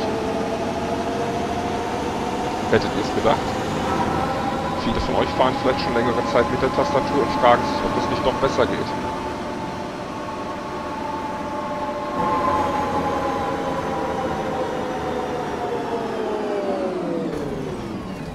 So gemerkt, ich bin das nicht besonders gewohnt. Guten Abend. Nein, ich spreche nicht mit dem Computer, ich spreche natürlich mit den Fahrgästen. Ja, das ist schließlich eine Simulation. Wenn man sie ernst nimmt, darf man auch guten Abend sagen. Manche behaupten, das wäre ein Spiel. Nein, Leute, eigentlich ist OMSI kein Spiel. Ich sage euch auch, warum OMSI kein Spiel ist. Erstens, weil es die Sache, die Thematik eigentlich ziemlich genau nimmt. Ein Spiel wäre wahrscheinlich mehr auf Unterhaltung und Action ausgelegt. Und das ist OMSI eigentlich nicht. OMSI ist streng genommen eine Berufssimulation. Man könnte auch sagen eine Fahrsimulation. Aber es ist kein Spiel. Wenn ihr meint, cool, muss ich haben, will ich unbedingt mal ausprobieren, alles schön und gut, aber ein Spiel ist das nicht. In OMSI hat man nur Erfolg, wenn man vernünftig fährt. Sonst verfehlt man irgendwo den Sinn und Zweck. Vielleicht habt ihr auch schon davon gehört, es gibt sogenannte V-Bus-Betriebe, also virtuelle Busbetriebe, wo tatsächlich Fahrten koordiniert werden. Leider haben einige davon ihren Betrieb wieder eingestellt. Ich bin nicht sicher, ob es aktuell noch einen gibt. Zwei Stück fallen mir ein. Den Rheinhausener Verkehrsverbund, den gibt es leider definitiv nicht mehr. Es sollte zwar eine Neueröffnung geben, aber für den Moment ist die abgekündigt. Standpunkt, Zeitpunkt dieses Videos, also November 2013 die RVB nicht mehr. Was es auch lange gab und glaube ich sogar vorher gab, ich bin mir nicht ganz sicher, war BUS, Bus Union Spandau. Bezogen natürlich auf die Berliner Karte. Aber auch die gibt es meines Wissens mittlerweile nicht mehr. Das Ganze war insofern ganz gut, dass das Fahrten koordiniert wurden, jeder feste Aufgaben hatte und regelrechte Schichten übernommen hat. So zum Thema Ernst in Omsi. Und der Ernst bleibt jetzt laufen. Okay, Scherz beiseite, der Witz ist alt und flach. So. Das war schon die vorletzte Haltestelle. Nordspitze Krankenhaus wird die letzte sein. Und spätestens dann ist der Bus auch wieder leer. Ja, Haltestellenwunsch, genau. Leute, mir ist klar, dass ihr an der letzten Haltestelle aussteigen wollt. Da braucht ihr gar nicht drücken. Im Wagen gibt es übrigens auch irgendwo versteckt ein Schild. Das heißt, Wagen hält. Das leuchtet auf, wenn die Leute gedrückt haben als Bestätigung. Das kennt ihr vielleicht aus echten Bussen auch. In echten Bussen wird nur noch mehr angezeigt, zum Beispiel die nächste Haltestelle. Sehe ich die Ampel natürlich äußerst gut. Ich ziehe mal ganz vorsichtig ein Stück weiter. Ah, ist schon grün. Ja, das dachte ich mir. So, jetzt kommt meine Lieblingskurve auf dieser Karte. Denn die ist eng. Übrigens, es ist keine Schande, wenn ihr mit einem Bus mal zurücksetzen müsst, weil ihr euch irgendwo ein bisschen verfranst habt an der Kurve. Achtet nur bitte unbedingt mit Hilfe der Taste F3 darauf, dass keiner hinter euch steht. Denn die Autos, die hinter euch stehen, können sich nicht aus dem Staub machen. Das funktioniert nicht. Kante fahren wir schön langsam, damit sich Manfred hinten nicht aufregt. Und dann fahren wir schön an dieses Haltestellenschildchen ran. Und bleiben daneben stehen. Maussteuerung aus. Hintere Tür auf. Und die letzten Leute können aussteigen. Ja. Die Haltestellenliste ist jetzt um einen Punkt kürzer, denn eine Haltestelle gibt es ja auf der Rückfahrt nicht. Und wie ihr seht, die Zeiten waren alle in Ordnung. Wir waren hier durchweg eine halbe Minute bis Minute zu früh, das ist noch im Rahmen. Mehr als zwei Minuten zu früh wird kritisiert, ist auch extrem unhöflich gegenüber Fahrgästen, die noch kommen. Mehr als drei Minuten Verspätung, ja, das kann passieren, das könnt ihr gar nicht vermeiden, wenn viel Verkehr ist auf einer großen Karte. Aber mehr als drei Minuten wird natürlich als Verspätung kritisiert und die Fahrgäste meckern dann. Da heißt es dann zum Beispiel, der Fahrplan ist auch nur noch zur Dekoration, oder? Natürlich dürft ihr dadurch dafür auch in Gedanken oder in echt mal eine passende Antwort geben. Denn wenn zum Beispiel Winter ist und ihr fahrt im Schnee, ja, dann versucht mal einen Fahrplan einzuhalten. Das ist dann schon verdammt schwer. Manchmal ist es überhaupt nicht möglich, also nicht schämen, einfach so gut machen, wie es geht. So, wir sind am Ziel. Wir haben die, diese Linie beendet. Ich werde jetzt den Fahrplan oben rausnehmen, damit nicht irgendjemand meint, ich komme nochmal rumgefahren. Fahrplan abbrechen. Und wenn ihr jetzt längere Zeit wartet, werdet ihr sehen, dass wieder ein KI-Bus auftaucht, der meine Aufgabe übernimmt. Und ich kann den Bus jetzt hier im Prinzip an dieser Stelle auch abrüsten, das heißt wieder verlassen. Was mache ich? Ich schalte das Licht innen aus. Zack, zack, zack. Das Fahrerlicht kann ich mir natürlich, wenn ich will, nochmal gezielt anschalten. Das ist auf der 6. Dann kann ich dem Bordinformationssystem mitteilen, dass ich keine Linie mehr fahre. Gebe einfach eine Nulllinie ein und dann nicht eine Route 0, sondern einfach Ziel 0. Das ist in den meisten Fällen ein Leerfeld. Zumindest wenn es sich automatisch einstellt. Ich nehme hier entsprechend das Ziel zurück. Wir hatten gesehen, die 1 war Betriebsfahrt und 0 war ein Leerfeld. Also stellen wir das einfach entsprechend ein.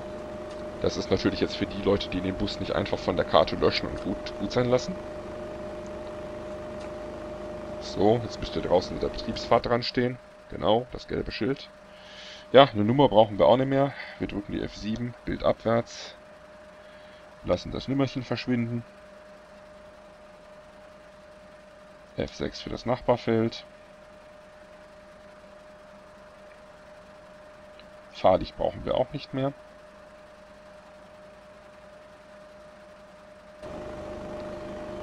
Korrekterweise betätigen wir die Feststellbremse. Die ist auf dem Punkt, auf dem normalen Punkt oder indem ihr den Hebel betätigt. Gang sollte auch keiner mehr drin sein. N. Ihr hört, der Motor hat es gleich leichter. Mit M oder hier mit dem Knöpfchen stellt ihr den Motor ab. Und durch Ziehen des Zündschlüssels bzw. mit der Taste E die Elektrik. So. Das war eine erste Passagierfahrt auf dieser Linie. Ich hoffe euch, das hat euch soweit gefallen, das Video. In den nächsten Videos werde ich dann auf weitere Busse eingehen und die Unterschiede. Ich denke mal, ich werde vielleicht noch ein mittleres Busmodell oder gleich den modernen nehmen. Und ja, wenn ihr wollt, sehen wir uns im nächsten Video wieder. Bis dahin, ciao, ciao, bis dann.